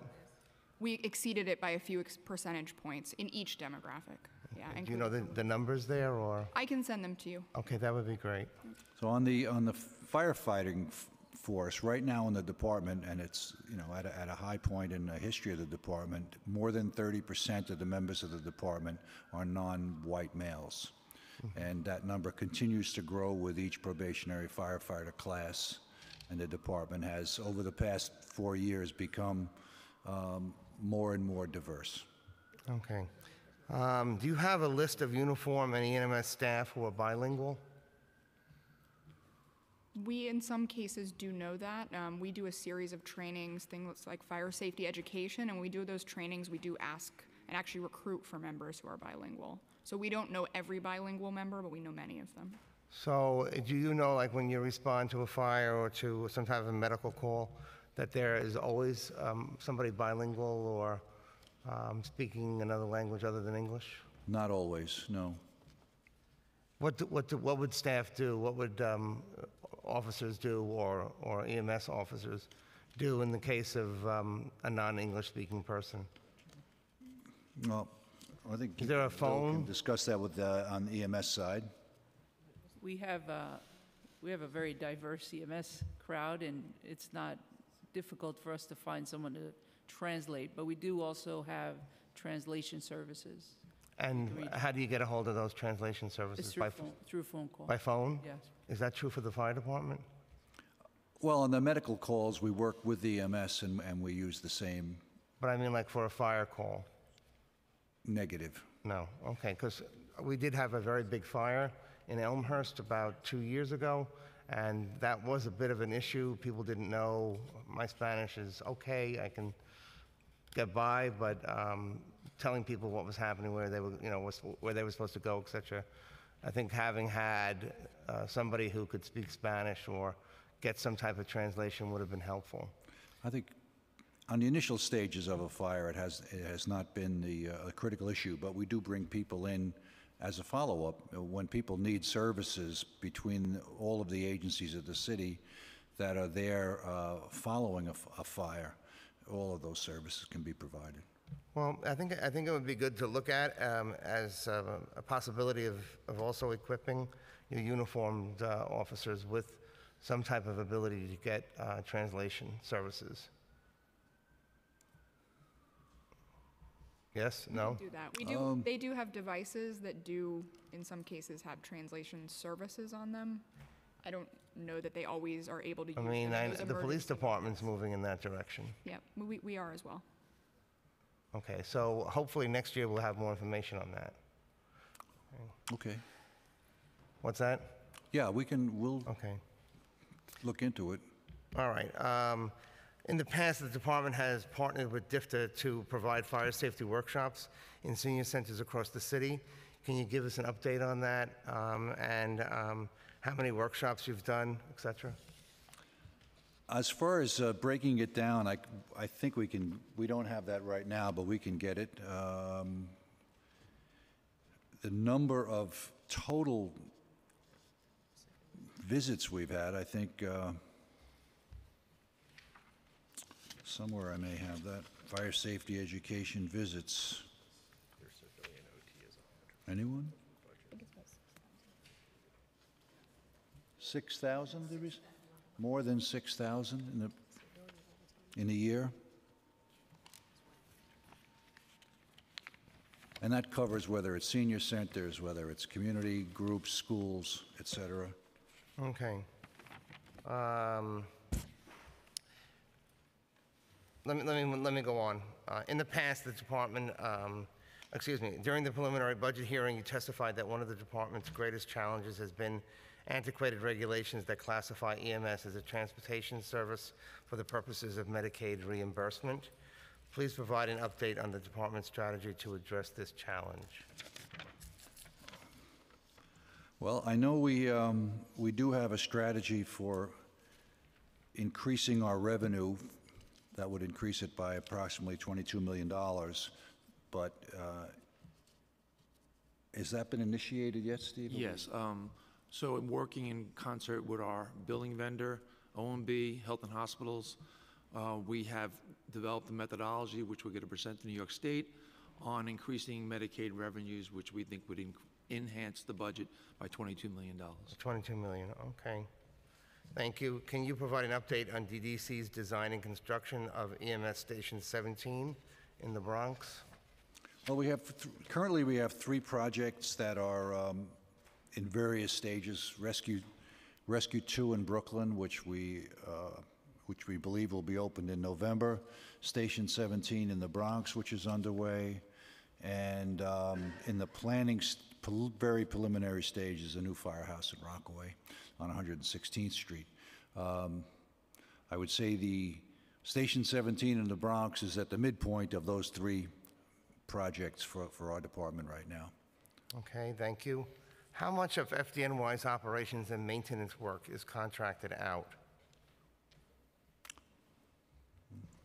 We spend a significant amount of money on contracting services. Um, It might be in plumbing, it might be sewer work, electrical. We do have a a robust staff as well and, a- and a good capital program, but some of the services we don't have the expertise on. Overhead doors, repairing, those kind of things, those expertises do not lie in the firehouses, so we rely on outside vendors. Can you provide us, a- you know, after the hearing, with a list of those people that uh, you contract with? Sure. Okay, thank you. Um, And then, Commissioner, you mentioned that the bulk of overtime comes from uniform uh, services. However, the civilian overtime spending is $18.5 million higher uh, than the 41.6 million budgeted at adoption. So what is the department doing to right-size the civilian overtime budget?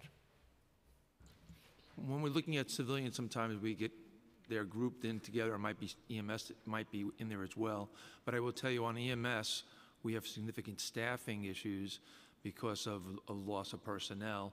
And we're, we're, one of the plans that we have in the long term, starting in FY '20, would be Fort Totten would be expanded, so more classroom space would be made available, so classes can grow um, from the current 180 on EMTs to 225.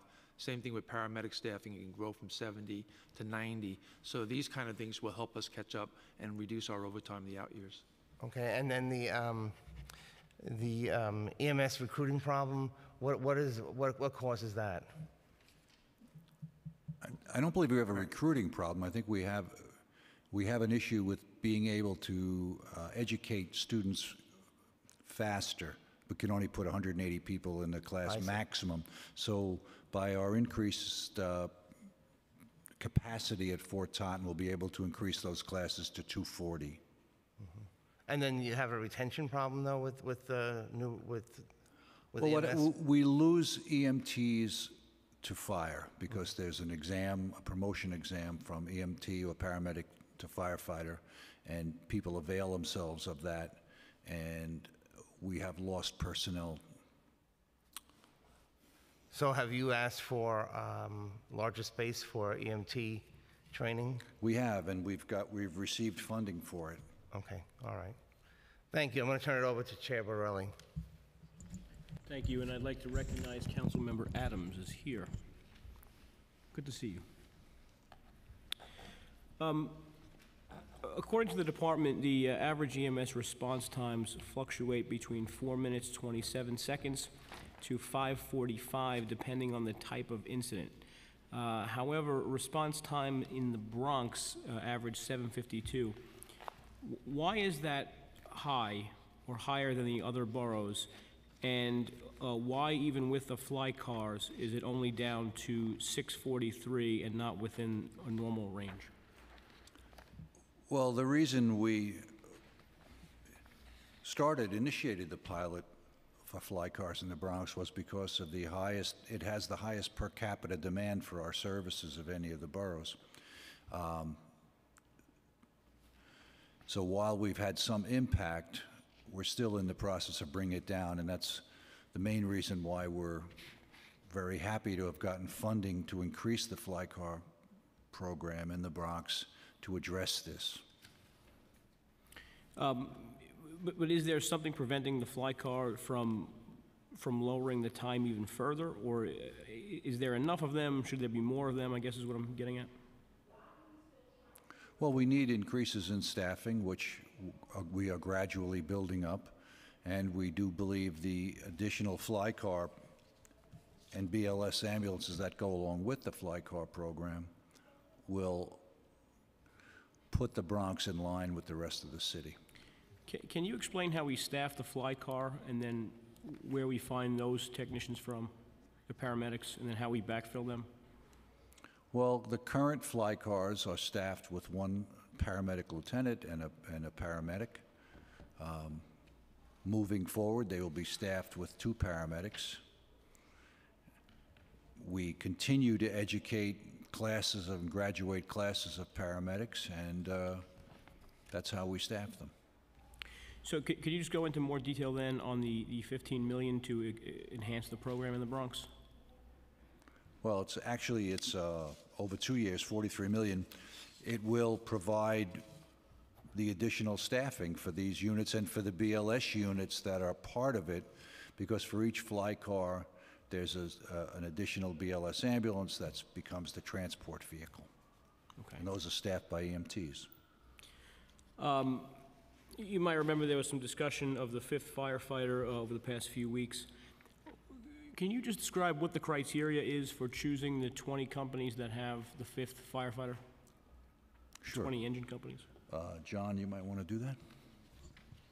Uh, We have a discussion, uh, as you know, we've increased them incrementally over the last four years, uh, five a year, and uh, we get input from the Bureau of Operations. Uh, They have discussions with uh, the borough commanders. Uh, We look primarily at activity. Uh, We look at uh, response areas, uh, structural fires, a number of responses, and uh, that's how we uh, determine the criteria. But on average, you would say that a a busier engine company would be more likely to have a fifth firefighter? Generally. So if all the engine companies were responding to 600,000 more runs, isn't it better that all the companies have a fifth firefighter?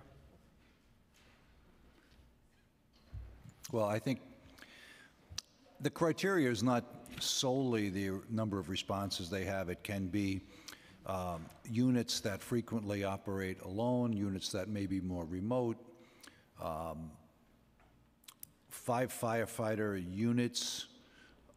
No one would dispute that five firefighter units um, may be superior to four firefighter units in some ways, but the department has a long history of being successful at fighting fires with four firefighter units, which is, you know, more staffing than any, really anywhere else in the country. Does the department have a cost estimate of, of the cost of adding another, I guess, 170?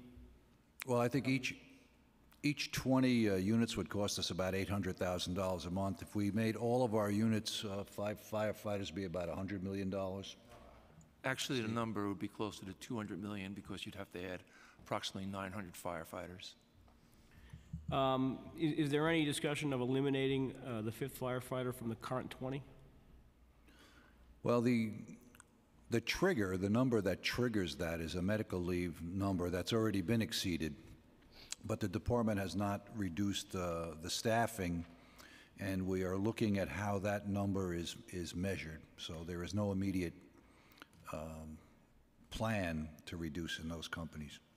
W- Would you characterize it as somewhat unproductive that we go through this process every six or seven months, depending on, uh, on different incidents of um, weighing whether to eliminate the fifth firefighter?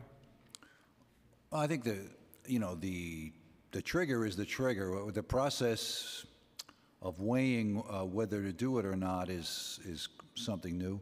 Um, I think medical leave being tied to the, to staffing is, is unusual, but this was what was negotiated between the union and the city many years ago uh, and was acceptable to both sides. So until some other formula can be successfully negotiated, this is what we have. I- I, certainly agree that it, it- it takes uh, two to tango, um, but is it, is it a good policy or bad policy to, um, to eliminate or to uh, change something that affects public safety rather than a perk uh, with respect to medical leave? We're not, we're not cutting the ice cream from the, from the Well- kitchen. Being that the fire, that the department operates with the majority of four firefighter engine companies, we don't believe that a four firefighter engine company makes people unsafe in the areas served by them. So I don't see this, the correlate, direct correlation between public safety and the number of firefighters on the engine. Um,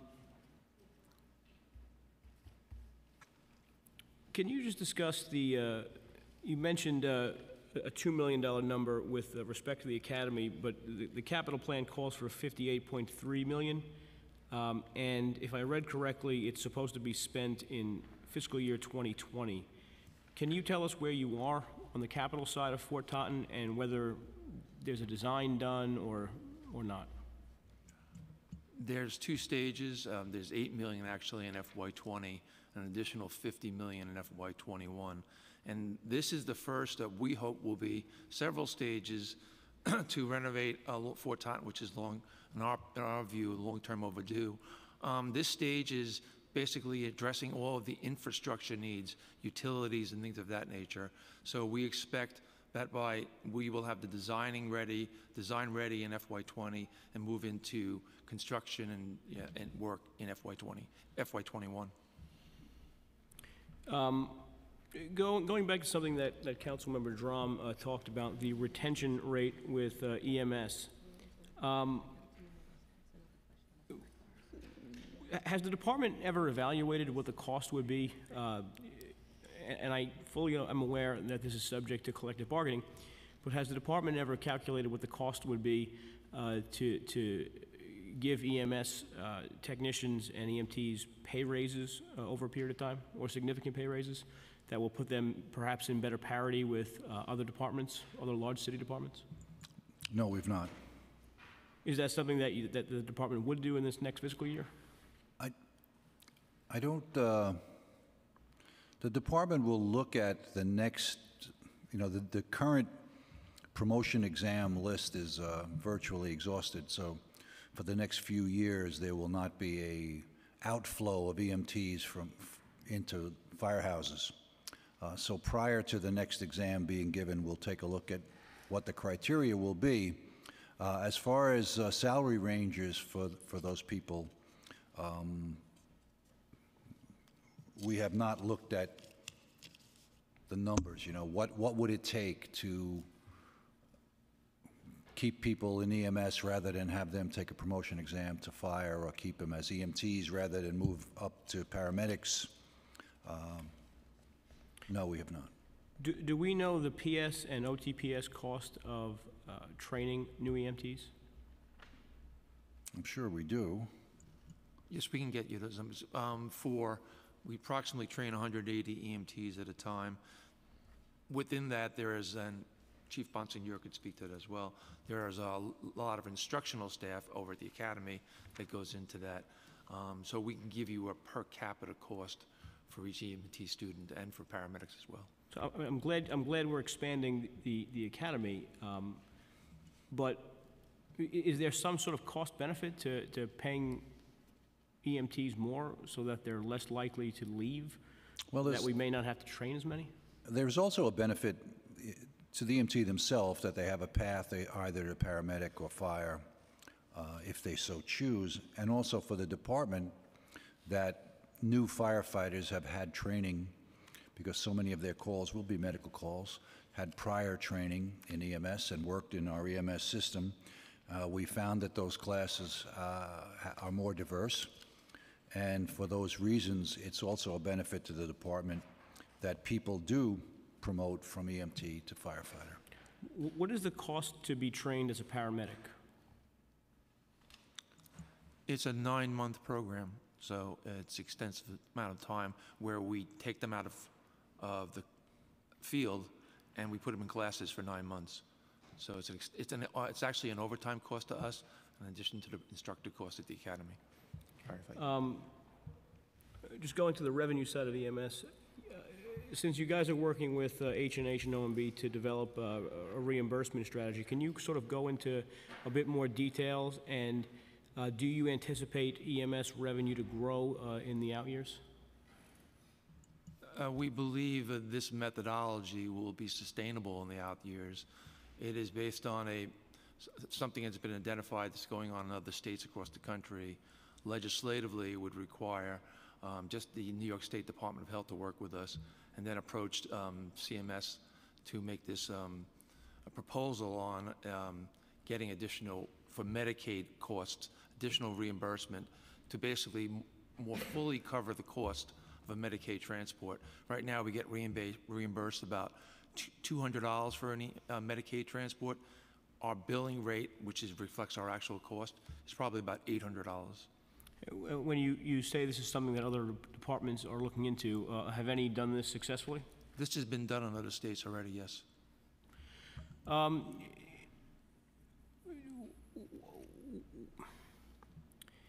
Is there a need for a new EMS station on Staten Island?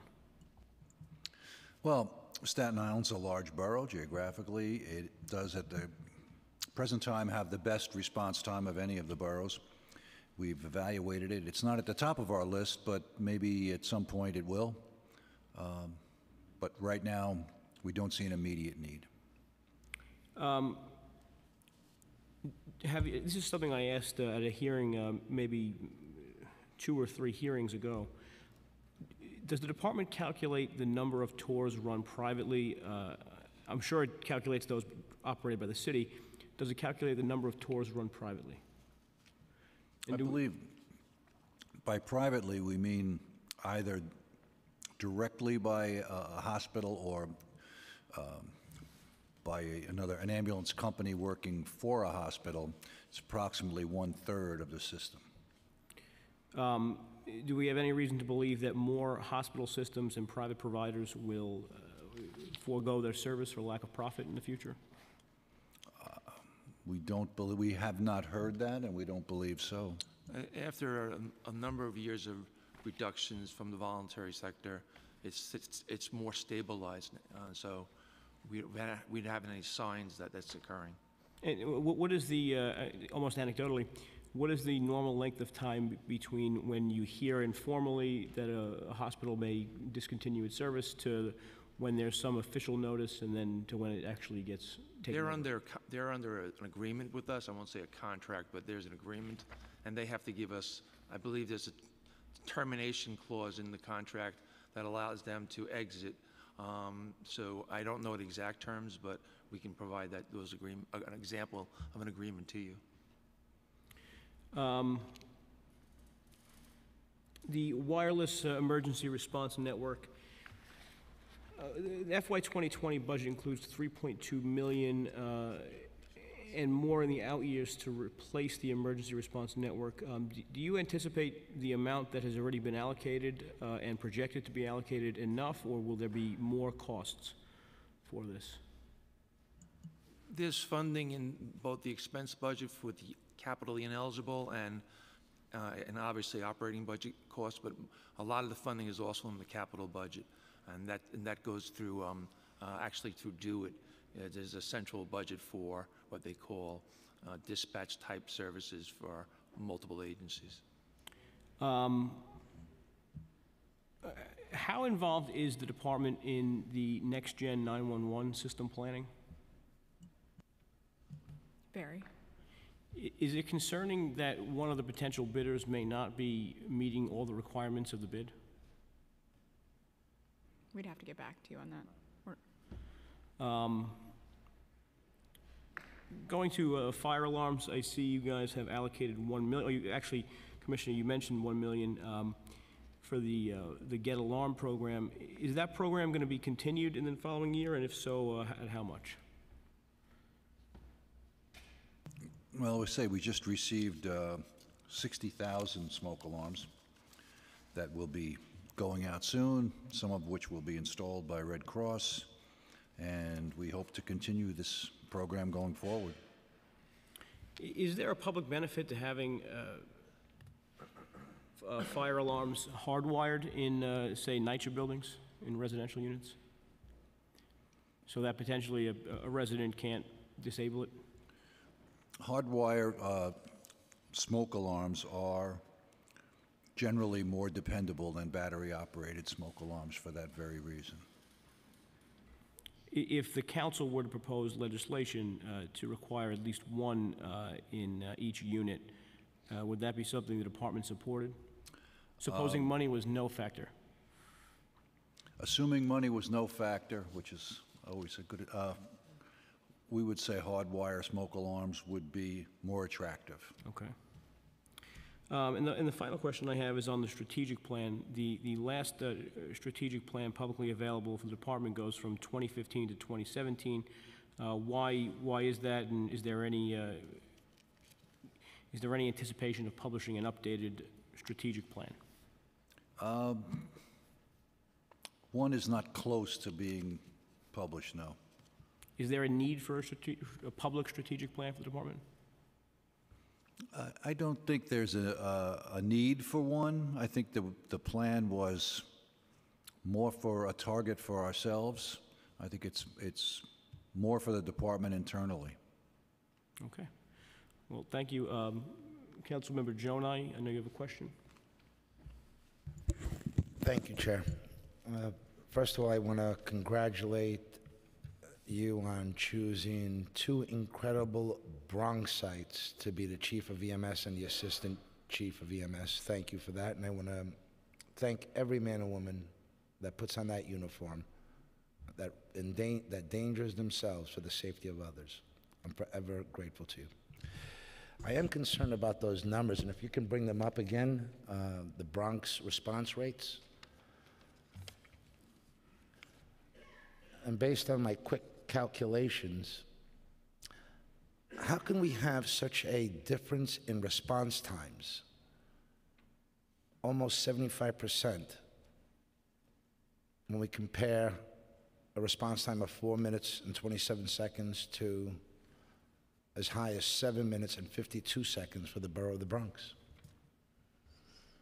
So Which number? Uh, I'm not sure what numbers we're looking at right now. I'm looking at something that Is it a, a response to fires, response to medical calls? average EMS response times fluctuating between 4 minutes and 27 seconds to 5 minutes and 45 seconds, depending on the type of the incident.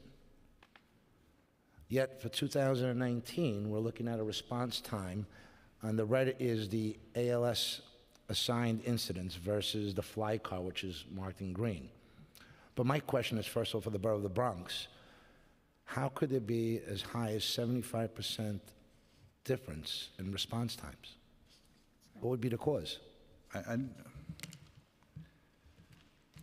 I'm trying to, uh, to see that it is 75%. I don't see that number. I did my math. There's a 75% difference somewhere, but uh, it's certainly not reflected there or in the material I have, so I think we're looking at two different things. Well, I, I would say that a response time of 4 minutes and 27 seconds is the low that I'm looking at, the numbers that were provided to me. And to a high of 752, and the difference is nearly 75%. I don't, Uh, let me, let me, let's go backwards, Commissioner. I, I will, of the five boroughs, which is the You're borough? looking, you're looking at structural fires right now. 427 is the citywide average in, in 2018. What would it be for response the times Bronx? to structural fires. And for the borough of the Bronx? Citywide. The borough of Bronx was 434. Um, That, you know, I don't see it anywhere, I don't see that number anywhere else in my numbers. This is EMS response times. You know what, let me, let me rephrase this whole question. Okay. Commissioner, let's start all over again. So good to see you again. Thank you for the excellent Okay. job that you're doing.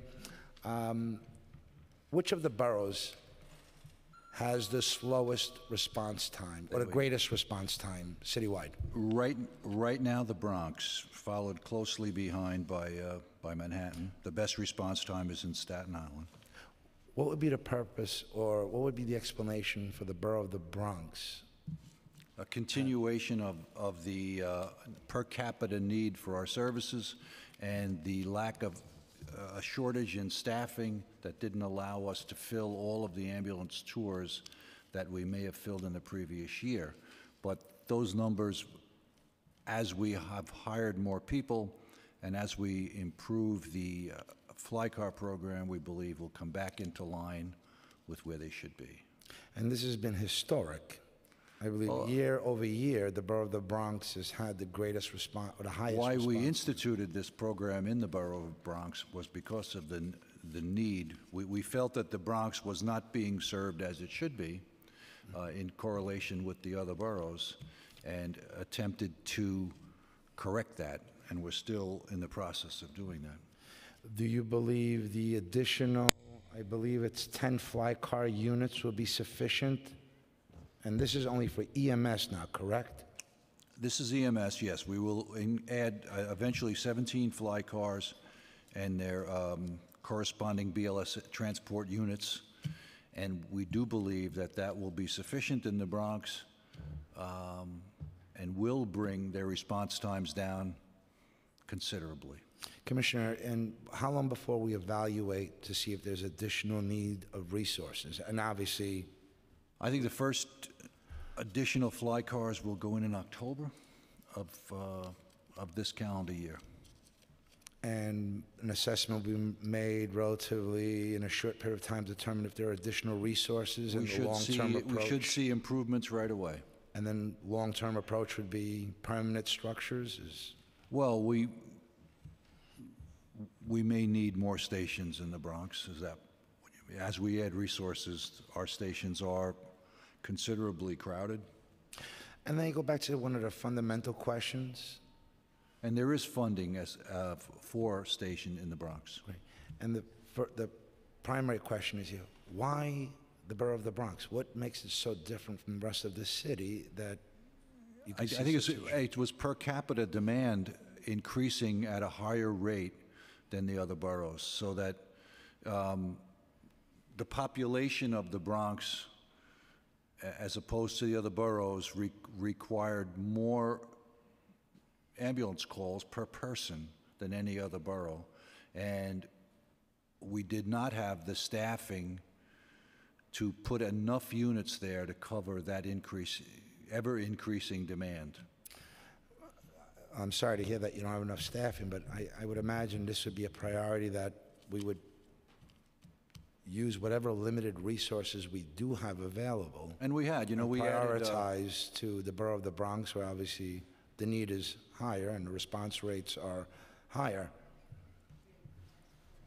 We, we had five tactical units we added to the borough of Bronx. We also have an issue because of, um, you know, the Bronx is not full of hospitals, and the turnaround time when we bring people to the hospitals, it is the longest of any of the boroughs also, which takes more time to get our units back in service.